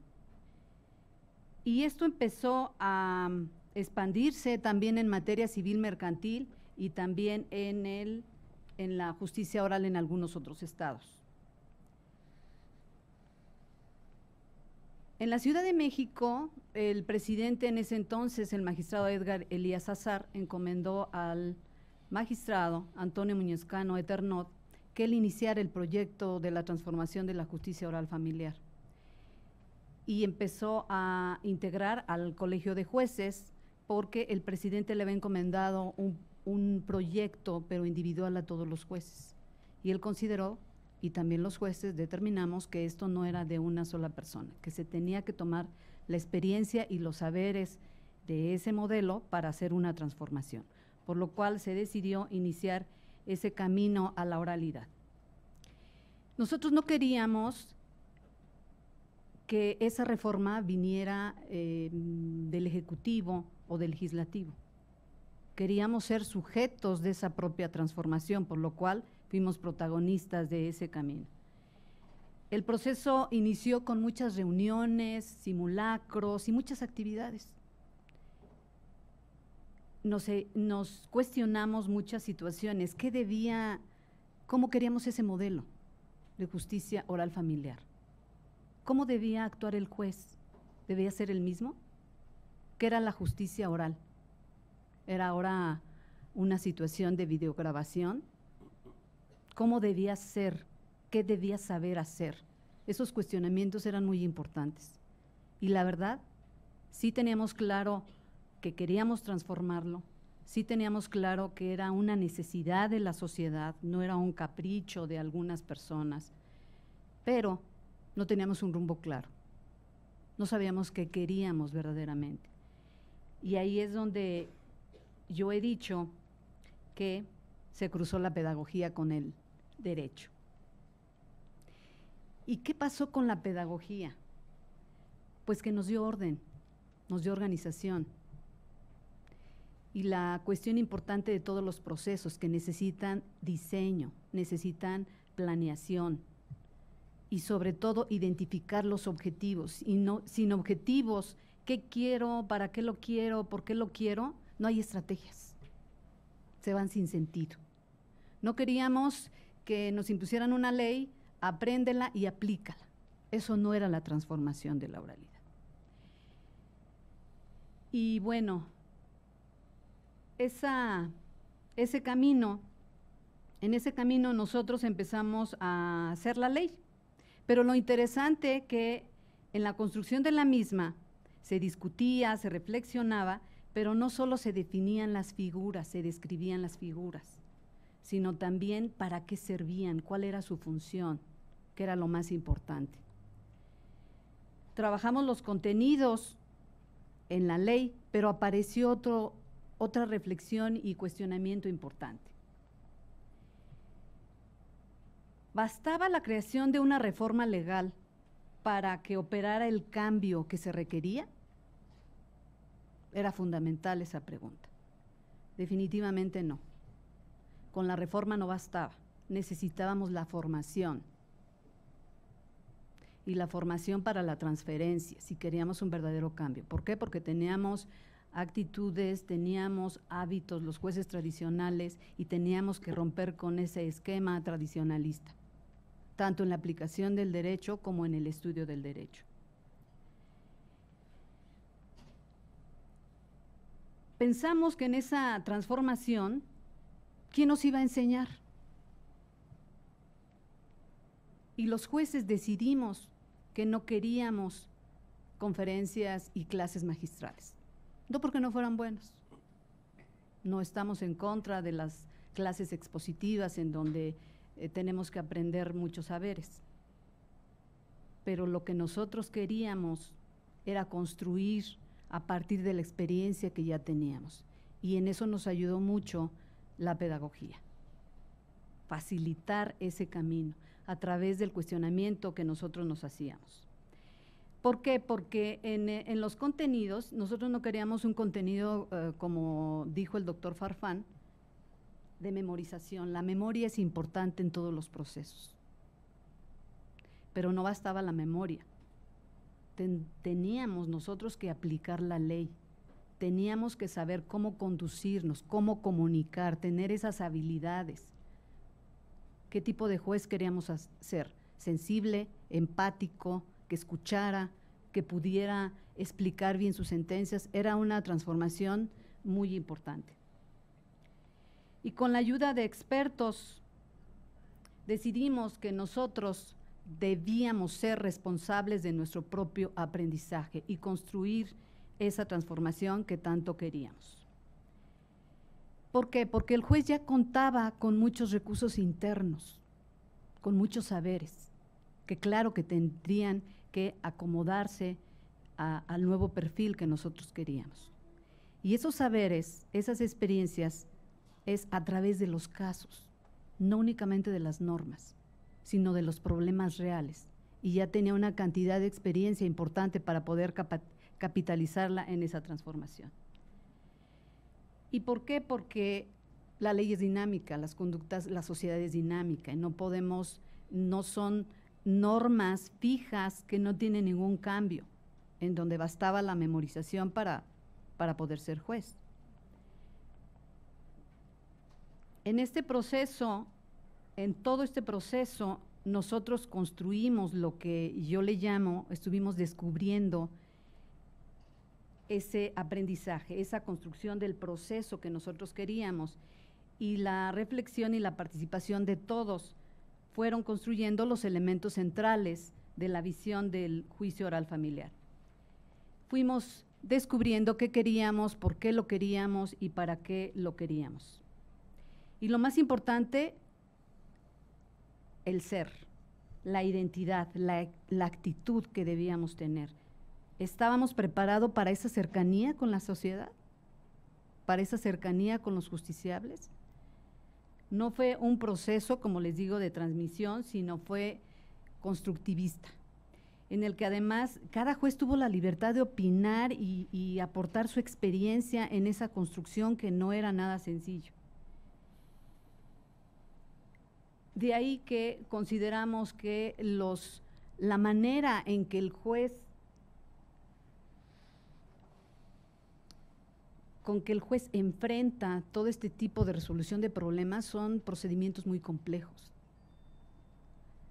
Procesa una gran cantidad de información y más en una audiencia, no únicamente estar escuchando al testigo, es estar viendo la otra parte, es guardar el equilibrio, es saber qué le voy a responder, cómo percibo la, declaración de un testigo. Son muchas conexiones que en ese momento hace el juzgador y no procesamos de manera silogística en ese momento, definitivamente.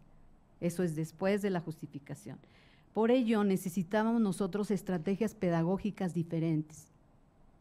Y esos procedimientos complejos, la función eh, esencial del juez debe de tomarse en cuenta. Como les digo, es, eh, consiste en la solución de problemas, implica trabajar con narraciones calificar jurídicamente a los hechos y trabajar e imaginar escenarios posibles, delinear líneas de acción y también manejar y comprender los principios procesales para que la audiencia fuera eficiente. Cómo ser director del proceso. Y en ese camino y en esas pautas pedagógicas, por ejemplo, estábamos construyendo la ley dice que la inmediación es la presencia del juez para que tenga de manera directa el contacto con las partes, con los testigos y con las pruebas. Nos los aprendemos y ya aplicamos bien el principio de inmediación, entonces decíamos y analizamos. Y si un juez está en una audiencia y está declarando un testigo y está así, agachado, volteando para otro lado, esa es la inmediación está presente. Ese tipo de reflexiones aplicadas, reflexionadas, era lo, lo importante de la construcción en cuanto a los principios. No basta la memorización. En cuanto a las estrategias que se fueron delineando, consideramos que era la reflexión, la discusión dirigida, el modelaje. ¿Y por qué importante de esta estrategia? Porque en el modelaje el, el docente, que en otro momento también el juez fue docente, describía el concepto, sus efectos, sus consecuencias.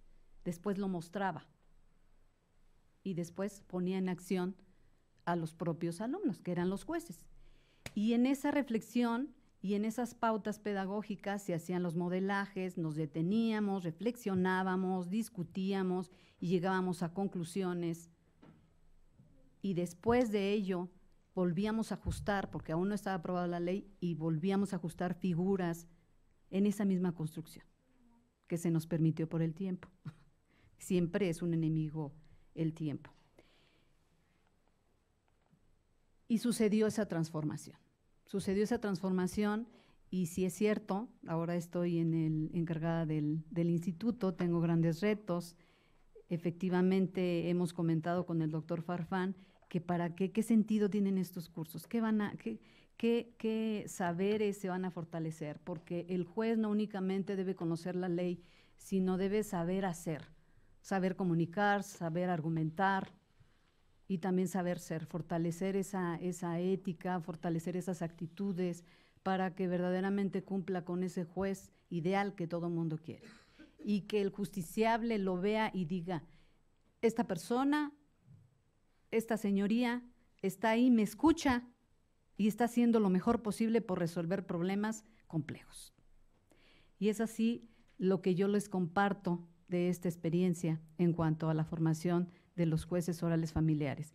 Y una de las cosas importantes que esta implementación, este camino que llevamos y que tiene mucha importancia para cambiar esas, estas actitudes mentales que ya tenemos, esta parte cognoscitiva, estas cuestiones preestablecidas estos conceptos para poder acomodar y surjan esos nuevos aprendizajes. Modelo tradicional toma las ventajas con las nuevas ventajas que tiene el procedimiento oral y surge un nuevo, una, buena, una nueva transformación. No se trata que, eh, que, que desechemos también esa escritura en la totalidad, tomar las ventajas de cada modelo y hacer la transformación y esto va a depender de la capacidad de los operadores, de la capacitación de los operadores y de la actitud para resistirse o no al cambio. Muchas gracias. Muchísimas gracias, doctora.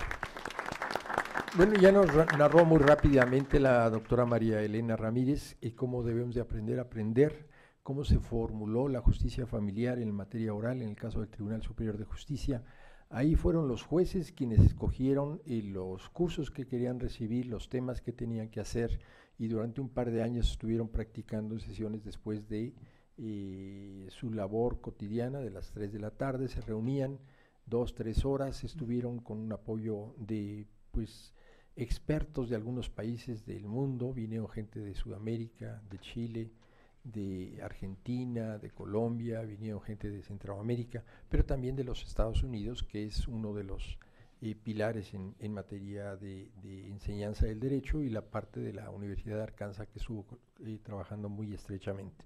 Aquí lo interesante es que el presidente del tribunal, por la confianza que le tenía al maestro Antonio Muñoz Cano, le dijo, redáctate la ley, las modificaciones a la ley procesal, eh, selecciona tú quienes quieres que sean los jueces orales. Y el maestro Muñoz Cano dijo, bueno, eh, la ley tiene que contener esto si quieren que funcione. La ley tiene que contener estas eh, reformas para que podamos llevar a cabo la justicia oral familiar. Y los jueces, que los elijan los propios jueces. Es, todos los jueces se comprometieron a participar en los cursos de capacitación y los propios jueces escogieron quiénes deberían de ser los jueces orales en esta fase experimental.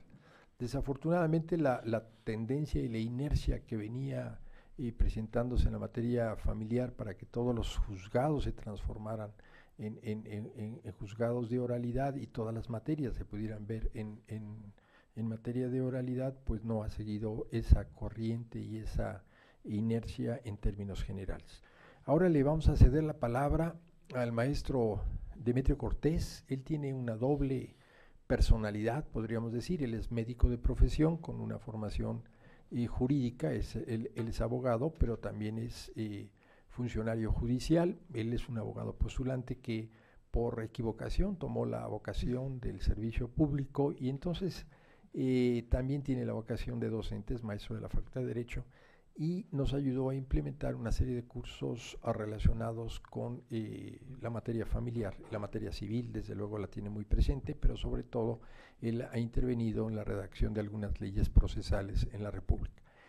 Él tiene una característica que como médico, como científico, pues ve las cosas desde un punto de vista diferente a como la vemos el resto de los que no tenemos esa formación de, la medicina, por eso es interesante su punto de vista. El sistema que él ha seguido para la elaboración de sus casos, para llevar a su cátedra, es muy sencillo. Eh, parte de un problema real que se nos está presentando en la sala, lo estudia, lo analiza, lo sintetiza en un par de cuartillas y formula 10 preguntas. De esas 10 preguntas que formula, que le van a conducir al, al estudiante, el caso se ven normalmente los miércoles a las 12 y 30 en la sala de juntas de la presidencia del Tribunal Superior de Justicia en Plaza Juárez.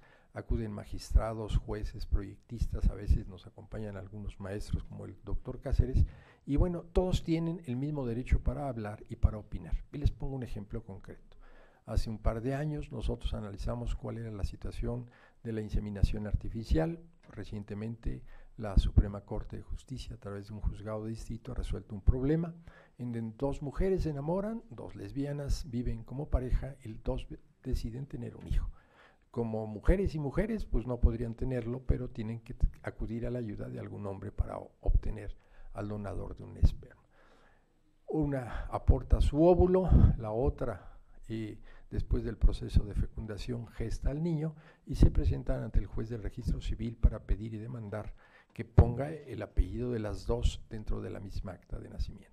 El juez dice, están locas, aquí dice el nombre del papá, como voy a poner a la que aportó el, óvulo, y, pues si no, no puede ser. Y el juez, el, juez del registro civil rechaza esto, van a, un juicio eh, constitucional y el juez de distrito le dice, pon el nombre de las dos. Primero, pon el nombre de la que dio el óvulo y después pones el nombre de la que dio. Esto se resuelve así en términos generales, pero con esa capacidad de complicar las cosas, nos dice Demetrio, que qué pasaría si habiendo el juez expedido el acta de nacimiento con los dos apellidos de las dos madres, porque no tienen padre aquí, el muchacho tiene, los dos gemelos tienen mucha madre, tienen dos madres, dos apellidos de las madres, aparece el donador del esperma y dice, yo fui el que les di pues mi semillita que permitió la fecundación. Y quiero que mi apellido también aparezca en esto. Y entonces sí tendrían que tener una controversia de tipo familiar ante un juez de lo familiar. ¿Y cómo lo resolverían? Bueno, tendríamos que analizar los precedentes, tendríamos que analizar el origen del nombre y desde luego aportar una solución. Ese tipo de problemas los vemos cada ocho días, que son de la vida real, cómo resuelve la Corte, que no siempre nos da la razón, y sobre todo nos permite a los jueces, a los magistrados que acuden a la discusión de los temas, tener sus dos hojitas. Tenemos una página en internet que nos recuerdan mucho a nuestra mamá porque dicen que somos muy prosaicos en nuestros planteamientos, pero es la realidad y la vida real. Lo mismo podría haber pasado si los dos, los dos padres hubieran conseguido una donadora de, un óvulo y entonces, bueno, hubieran tenido un hijo, dos, dos personas. ¿Cómo pondríamos la cosa del nombre? En, en, Portugal y en Brasil el apellido materno va primero.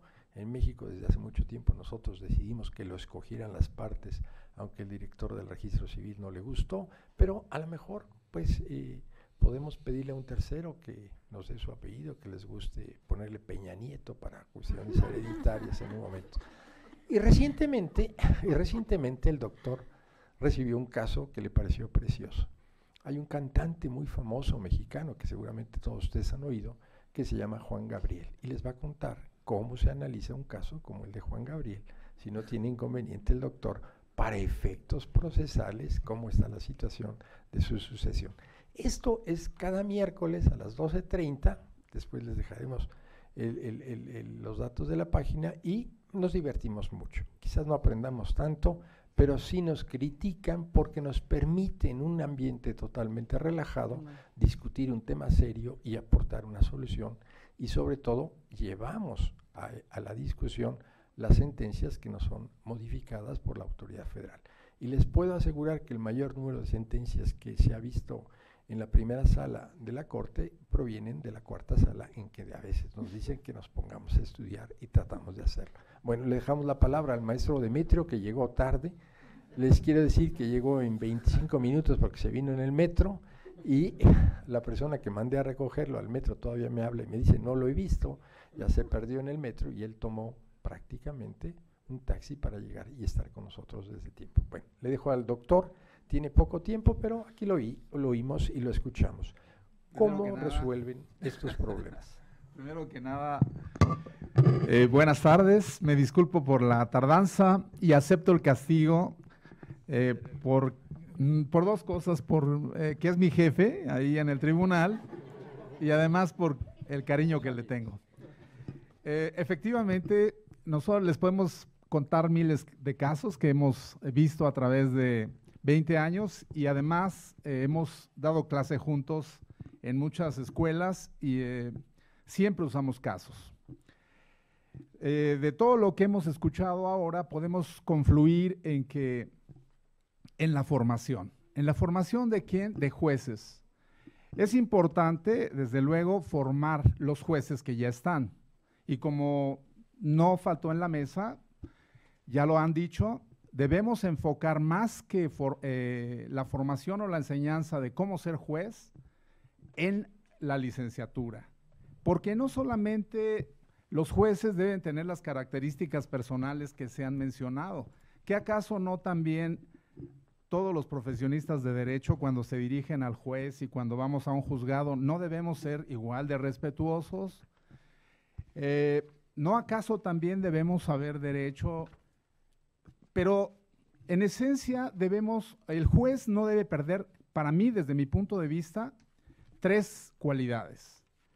Y son eh, de conciencia y disposición. La primera, de saber que está uno ahí como juez para resolver el caso o el problema de los que vienen a plantearnos. Nosotros tenemos la obligación de resolverles el problema y no de complicárselos. Y luego las partes están peleando con nosotros nosotros lo vemos frecuentemente porque estamos en una apelación y en una sala de segunda instancia. Y ahí nos llegan los problemas y vemos, bueno, aquí, aquí nos están peleando las partes. Es una parte o las dos partes contra el juez. Ese es el primer punto que, debemos, que debe entender un buen juzgador. Está ahí para resolver el problema del, que tienen las partes. El segundo, ya también lo mencionaron, empatía. Es decir, vamos a colocarnos en la posición de los justiciables. ¿Para qué? Pues para que los justiciables reciban la justicia que, que yo, si estuviera en su lugar, desearía. Y desde luego, debemos pensar que las partes van a tratar de convencer, no van a decir la verdad, ¿eh? ninguna de las dos, van a tratar de convencer cada una al juez de su verdad.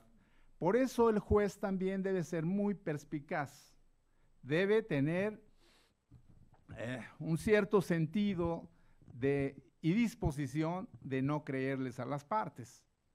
¿Por qué? Por naturaleza, por instinto. Las partes van a tratar de que el juez crea su verdad.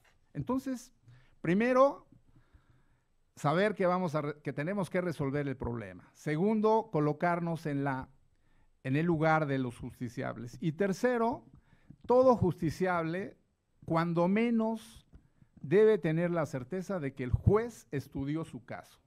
¿Y cómo? A profundidad, lo más que se pueda. Es lo menos que debe hacer un juzgador. Podemos equivocarnos, porque somos humanos y somos falibles. No somos infalibles. Pero ese error no debe ser porque no estudiamos el caso. Por otra cosa, por falta, falta de criterio, falta de percepción, lo que queramos. Pero no porque no hayamos estudiado el caso. Si observamos estos tres puntos, creo yo que el juez puede pasar la prueba. Y todas las demás circunstancias hay que aprenderlas, hay que formarlos, sí, necesitamos esos cursos, sobre todo en cuestiones que no, que no tiene la, la formación de un juez, de un abogado, que no tiene la necesidad, psicología, lo han mencionado, psiquiatría, genética, medicina, estas cuestiones que son, la genética, por ejemplo, una prueba en genética es difícil de comprender. Ni aún siendo médico, si no se mete uno en estas cuestiones, no sabe uno cómo va a, analizar, a valorar una prueba en genética. Le vamos a hacer caso a lo que nos dice el perito. Pero en esas cuestiones donde tenemos dos peritos, uno de cada parte, y un tercero, ¿qué es lo que pasa en nuestra realidad? No hablemos del mundo ideal, no, hablemos de la realidad, de la justicia, del derecho en México. Un perito va a dictaminar por la parte actora y el otro por la parte demandada. Pero obviamente, siempre, en el, prácticamente el 100% de los casos, el perito de la parte actora va a beneficiar en su dictamen los intereses de la parte actora. Porque si no, la parte actora no lo va a contratar, pues él es el que le va a pagar. Y el demandado va a hacer lo mismo, el perito del demandado, con los intereses del demandado. Y luego, cuando el juez, viendo que pues, uno dice que sí y el otro dice que no, si hablamos de una pericial en, en grafometría y dactiloscopía, pues el perito va a tener que nombrar a un tercero en discordia. Y las partes van a correr a buscar el favor del perito tercero en discordia. Entonces, eso es, esa es la realidad jurídica en México y no podemos cerrar los ojos. Ahora, eh, para eso necesita precisamente conocimientos el juez. Debe tener conocimientos. Si es perito de peritos, pues no podemos llamar nada más perito de peritos porque así lo dice la ley. Debe tener una justificación. Pero dejemos esto por un lado y vámonos a la formación del juez. Es preciso, es importante formar a los jueces que ya están. Pero hay que formar a los jueces que vendrán, a los jueces que van a llegar en 10 años tal vez, o quizá en menos. Y eso es, ahí donde debemos eh, eh, enfocar en la licenciatura, por ejemplo. Y una buena forma es enseñarles a los alumnos a través de casos. Y ese es mi tema, la enseñanza a través de casos. Todo el tiempo nosotros hemos enseñado a través de casos. ¿Qué es lo importante para enseñar a través de, un caso? A veces no nos alcanza el tiempo, los, programas son muy, muy abundantes. Si hablamos de contratos, no se diga, obligaciones igual. Eh, debemos escoger el caso que contenga el núcleo del tema que vamos a ver, para que de ahí gire todo el punto. ¿Y cómo, cómo empezamos o cuál ha sido prácticamente nuestra técnica? Proponemos el caso. Obviamente los alumnos, si se, trata sobre todo de licenciatura, a veces no tienen la menor idea, pero el, el chiste con esto es que después viene el fundamento teórico y dándole las herramientas con las cuales ya pueden resolver el caso, entonces sí empezamos a platicar sobre cómo debemos resolver el caso. Y a veces les planteamos algunas soluciones que han dado no solamente en los tribunales locales, sino en los tribunales federales. Y vemos que nosotros podemos pensar que, bueno, el juez local se equivocó y la sala también, pero el juez federal y el, y el tribunal colegiado lo van a resolver porque ellos son infalibles. Pero ya no sabemos si son infalibles porque son los últimos o si son infalibles porque son los mejores. Ya no lo sabemos. ¿Por qué? Porque a veces encontramos resoluciones totalmente aberrantes. Aberrantes por ilógicas. Pero, pero eso, eso está, está en nuestras manos como maestros en la Facultad de Derecho. Porque de la Facultad de Derecho, y no hablemos de aquí, de la Facultad de la UNAM, sino de todas las facultades. De ahí van a salir los próximos jueces, y sean locales o federales. Por lo tanto, es ahí donde debemos enfocar, creo yo, eh, la parte fundamental de la formación de los jueces que en el futuro juzgarán o estarán en los juzgados de, la Ciudad de México. Me gustaría plantearles un caso rápidamente. Yo, le pediría que nos planteara un caso, por ejemplo, de aquellos que, eh, eh, ¿Se acuerda del caso del síndrome de Down? Sí, claro. Bueno, bueno. ese caso me parece muy interesante. ¿Por qué? Porque si hablamos, si hablamos de me toca, me toca derecho familiar, ¿no? Es, es, la materia. método de casos en la enseñanza del derecho familiar. Bien, si empezamos hablando del derecho familiar a distinción del derecho civil, vemos que el derecho familiar como parte del derecho civil siempre se ha manejado, pero como una parte del derecho civil. Y vemos que actualmente la evolución del derecho familiar cada vez se separa más del derecho civil. Es prácticamente evidente la separación del derecho familiar y del derecho civil.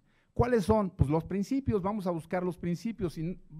tenemos 20 principios, pero básicamente si estamos hablando de que en el derecho civil es de estricto derecho y se observan el mayor formalismo posible, con las excepciones que queramos de no, no excedernos en el rigor formalista, pero es total, o podríamos decir que mucho más formalista el derecho civil que el derecho eh, familiar.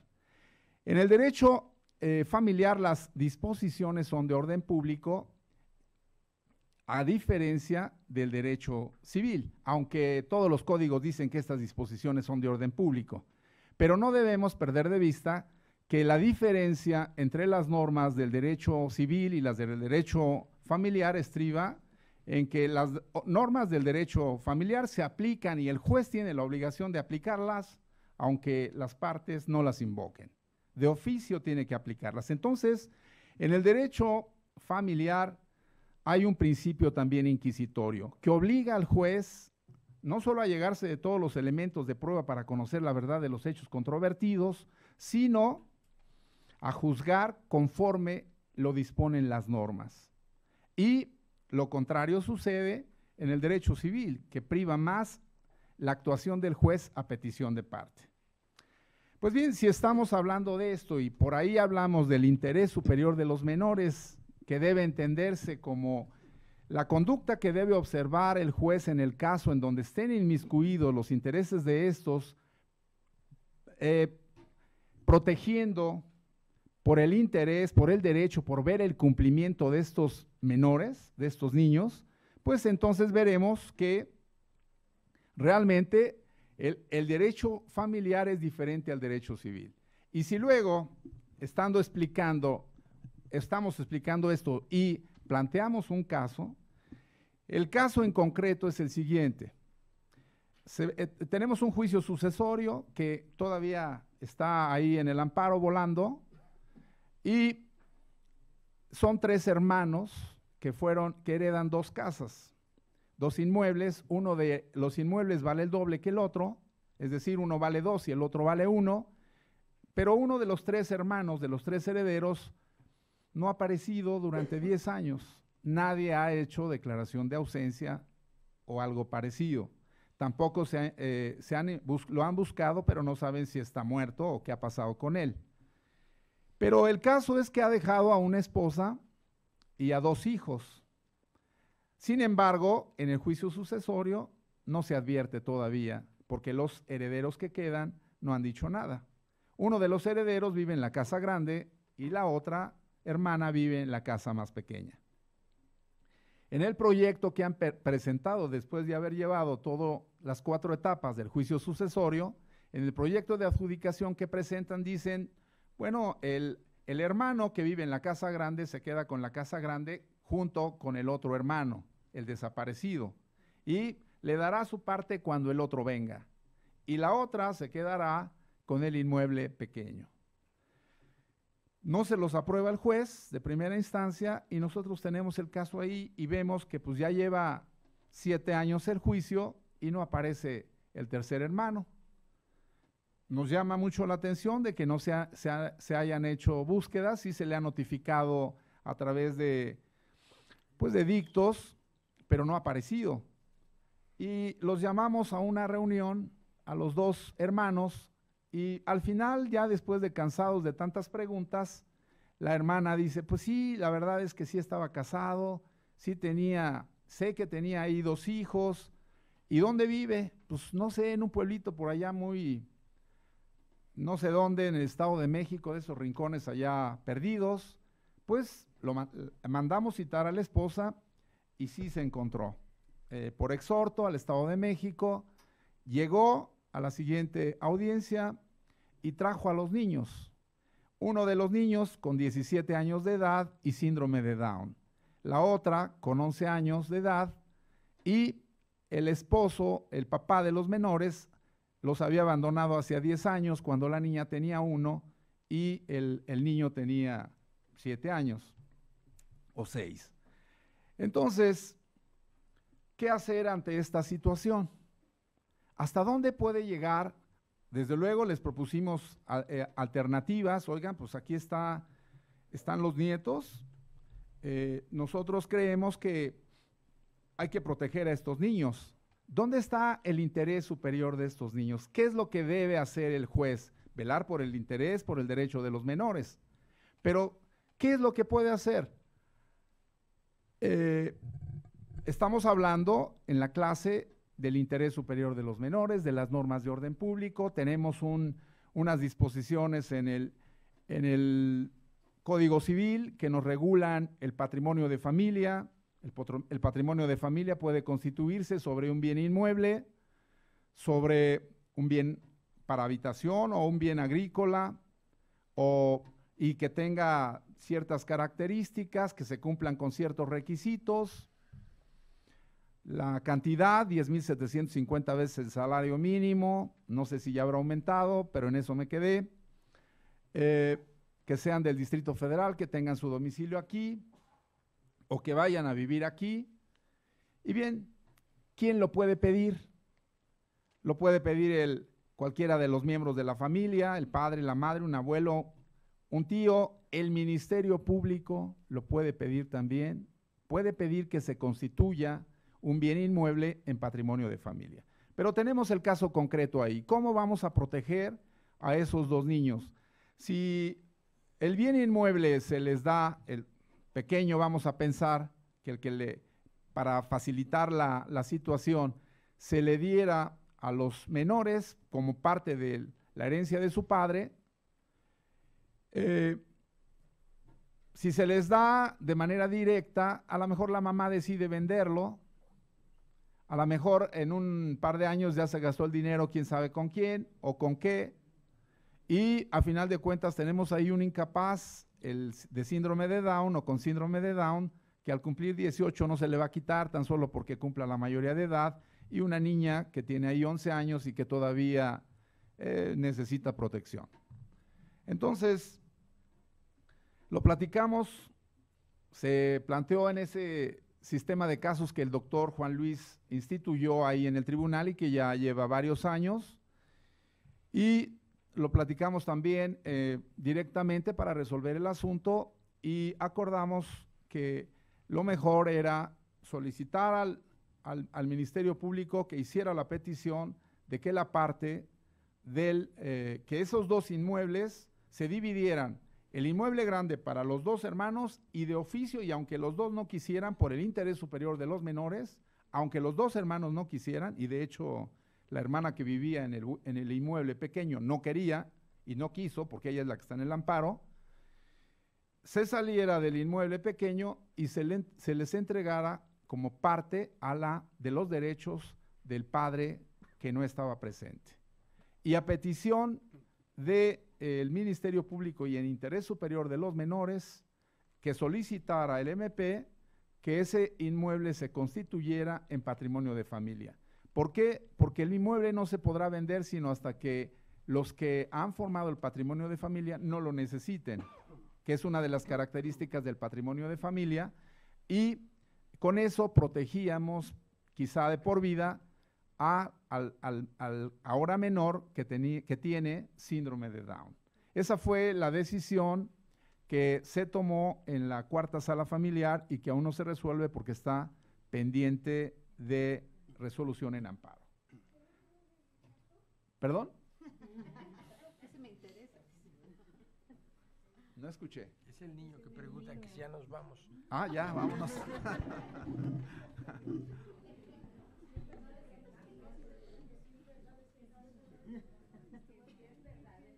es, es, es verídico. Prácticamente tenemos tantos casos que no necesitamos inventar. Sí.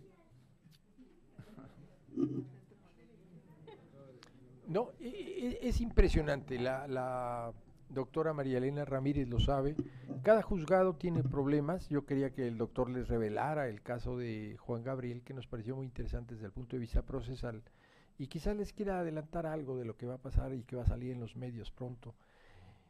Juan Gabriel fue una persona humilde en términos generales. Él nace en Michoacán, hace una gran fortuna después de haber sido perseguido y robado por sus promotores y por las disqueras logra eh, penetrar en términos generales a la sociedad mexicana y mantiene algunos orfanatos en Chihuahua y en otras partes.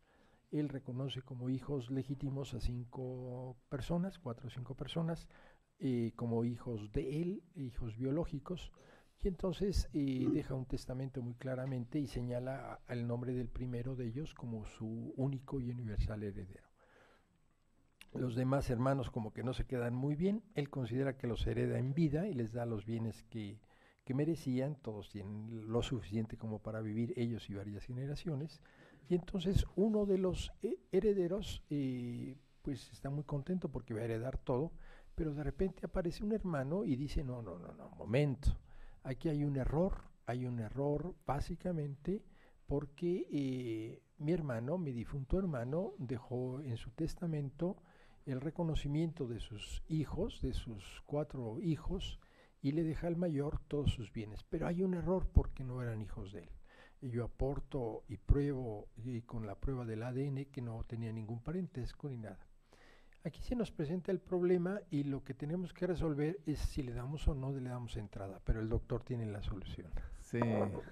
Bueno, efectivamente, eh, pensamos que el hermano en todo caso no tendría interés jurídico y eh, en términos del artículo primero del Código de Procedimientos Civiles nos dice que solo puede intervenir en juicio quien tenga interés en que el juez, interés jurídico, en que el juez declare, declare un derecho, constituye un derecho o quien tenga el interés contrario.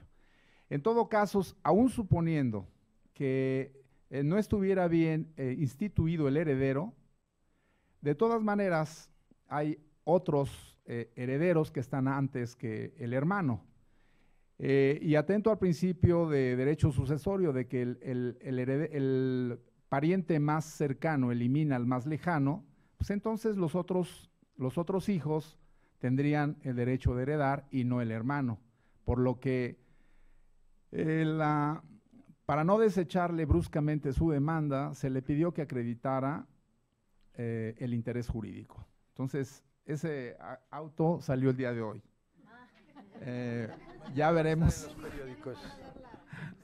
ya veremos. Este, empezamos a ver, y, es muy interesante porque mezcla uno las partes procesales con la parte de la doctrina, con la parte de la jurisprudencia y, las, los casos les referimos algo de bibliografía. Normalmente referimos bibliografía del Instituto de Investigaciones Jurídicas. Nosotros nos tocó participar en la redacción de los códigos civiles comentados y bueno, para la parte familiar, para la parte civil de obligaciones y contratos, nosotros redactamos ahí, coordinamos la publicación y siempre tenemos cosas nuevas. Y se ha convertido en algo así que nos hablan de Oaxaca, oiga, ¿cómo le hago para este? Tengo este problema y es muy bonito. la mayoría de las veces si no sabes a quién darle la razón, echa un volado y así se resuelve el asunto. En, varias resoluciones que hemos decidido eso, la Corte nos ha eh, confirmado las resoluciones, porque eh, el caso de los volados, sobre todo en cuestiones de copropiedad, está presente, pero es mezclar un poco la parte teórica, la parte práctica, la parte de cómo resolvemos el asunto. A veces nos equivocamos, pero en términos generales tratamos de hacerlo como un ejercicio, como platicaba la doctora, entre pares, entre, jueces y magistrados. Y entonces es algo muy agradable, dura una hora porque no podemos escaparnos de nuestros juzgados más tiempo, pero la gente va muy contenta a veces, muy frustrada porque no tenía la razón en su planteamiento inicial. Casi siempre se distribuye el caso con 72 horas y es una técnica que hemos utilizado desde hace muchos años. Yo tuve la oportunidad de estudiar con algunos profesores muy destacados de la Universidad de Harvard y era, pues nos daban el libro de casos y nos enseñaban para mañana tal caso hay que estudiarlo y hay que y hay que discutir. Y no hay más que quedarse sin dormir estudiando el asunto por si el maestro le pregunta a uno. Muchas gracias, doctor Cáceres. Les agradecemos a todos su eh, paciencia y sobre todo los esperamos el próximo año, que esperamos que no eh, flaquee el doctor y estemos aquí presentes.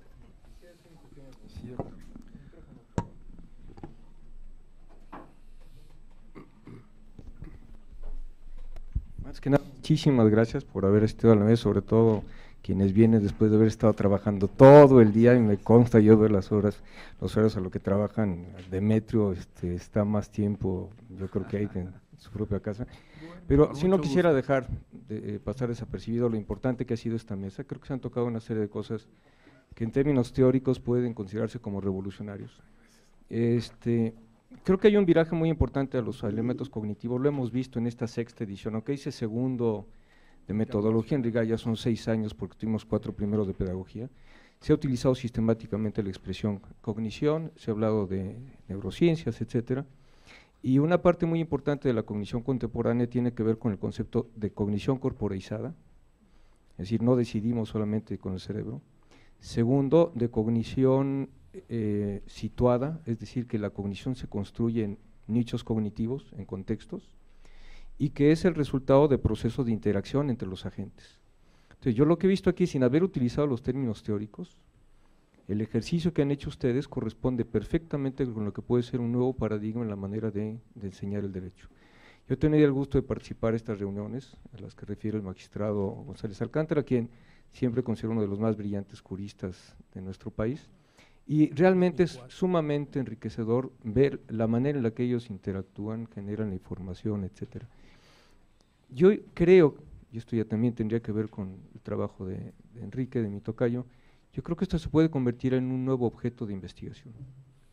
Si de las universidades eh, pasamos a, los, a las instituciones donde se está construyendo el conocimiento, pero ustedes han construido una manera diferente de generar el conocimiento y creo que ahora eso vale la pena exportarlo a las universidades. Que ustedes lo estén dando en su clase me parece extraordinario, pero cómo podemos modelar eso para convertirlo en un nuevo estilo pedagógico, creo que es sumamente valioso y que debemos considerarlo. El doctor Juan Luis González Alcántara también tiene una, doble personalidad y una de ellas es ser un brillante investigador del instituto, así que esperemos poderlo comprometer a poder trabajar en una, en una investigación conjuntamente para ver cómo modelamos esto. Creo que han hablado de casos, pero más allá de casos han hablado de problemas. Y un caso se puede entender como un conjunto de problemas que requieren la articulación de competencias diferentes de manera coherente. Entonces creo que ese es un enfoque interesante como para pensar en un nuevo paradigma de enseñanza del derecho. Les agradezco muchísimo, este, una vez más. Y que la página de internet y que la solución de Juan Gabriel dicen aquí.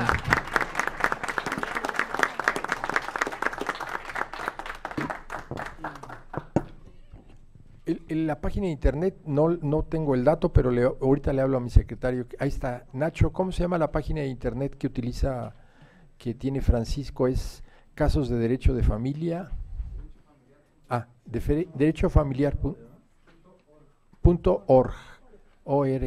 Cada semana agregamos uno, si ustedes quieren que toquemos algún tema en especial, lo pueden hacer llegar al, al, al Francisco Espinosa González o a Ignacio Flores o a través del maestro lo pueden hacer y, le mandamos a él los datos para que los tengan a la mano y puedan ustedes eh, ver cada semana los, los asuntos que subimos. Es uno por semana es la regla mientras no tengamos vacaciones y eh, tres días antes, o sea, el viernes tiene que estar el caso, lo suben a la plataforma para discutirse el miércoles siguiente porque sabemos que nadie trabaja el sábado ni el domingo, entonces les damos las 72 horas de anticipación. Son casos muy interesantes que nos parecen muy interesantes. Uno de los últimos que subimos es un caso que resolvió el doctor Demetrio Cortés que nos parece brutalmente importante. Consideramos que el FOBISTE y el, y ISTE finalmente se quedan con los fondos de pensiones cuando no existe un eh, heredero designado. Y entonces analizamos el caso de una maestra que se pasa la vida trabajando y se muere sin haber tenido pues ni marido, ni pareja, ni, ni amante, ni concubino, ni conviviente. Y entonces vienen los hermanos, a los hermanos se les adjudican todos los bienes de la señora, incluidos su fondo de retiro. Pero el ICE dice, no, ni madres, eso queda para acá.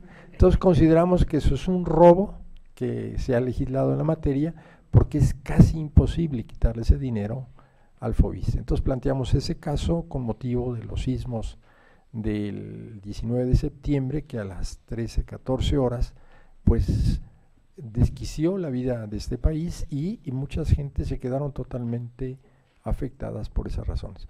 Nuevamente, doctor Cáceres, le agradecemos mucho al Instituto de Investigaciones Jurídicas, al doctor eh, Pedro Salazar, que nos haya brindado este espacio y esta oportunidad. Y agradecemos la presencia de la maestra María del Pilar, que es también otra familiarista, constitucionalista, eh, especialista en materia electoral y una destacada investigadora. Gracias, doctor.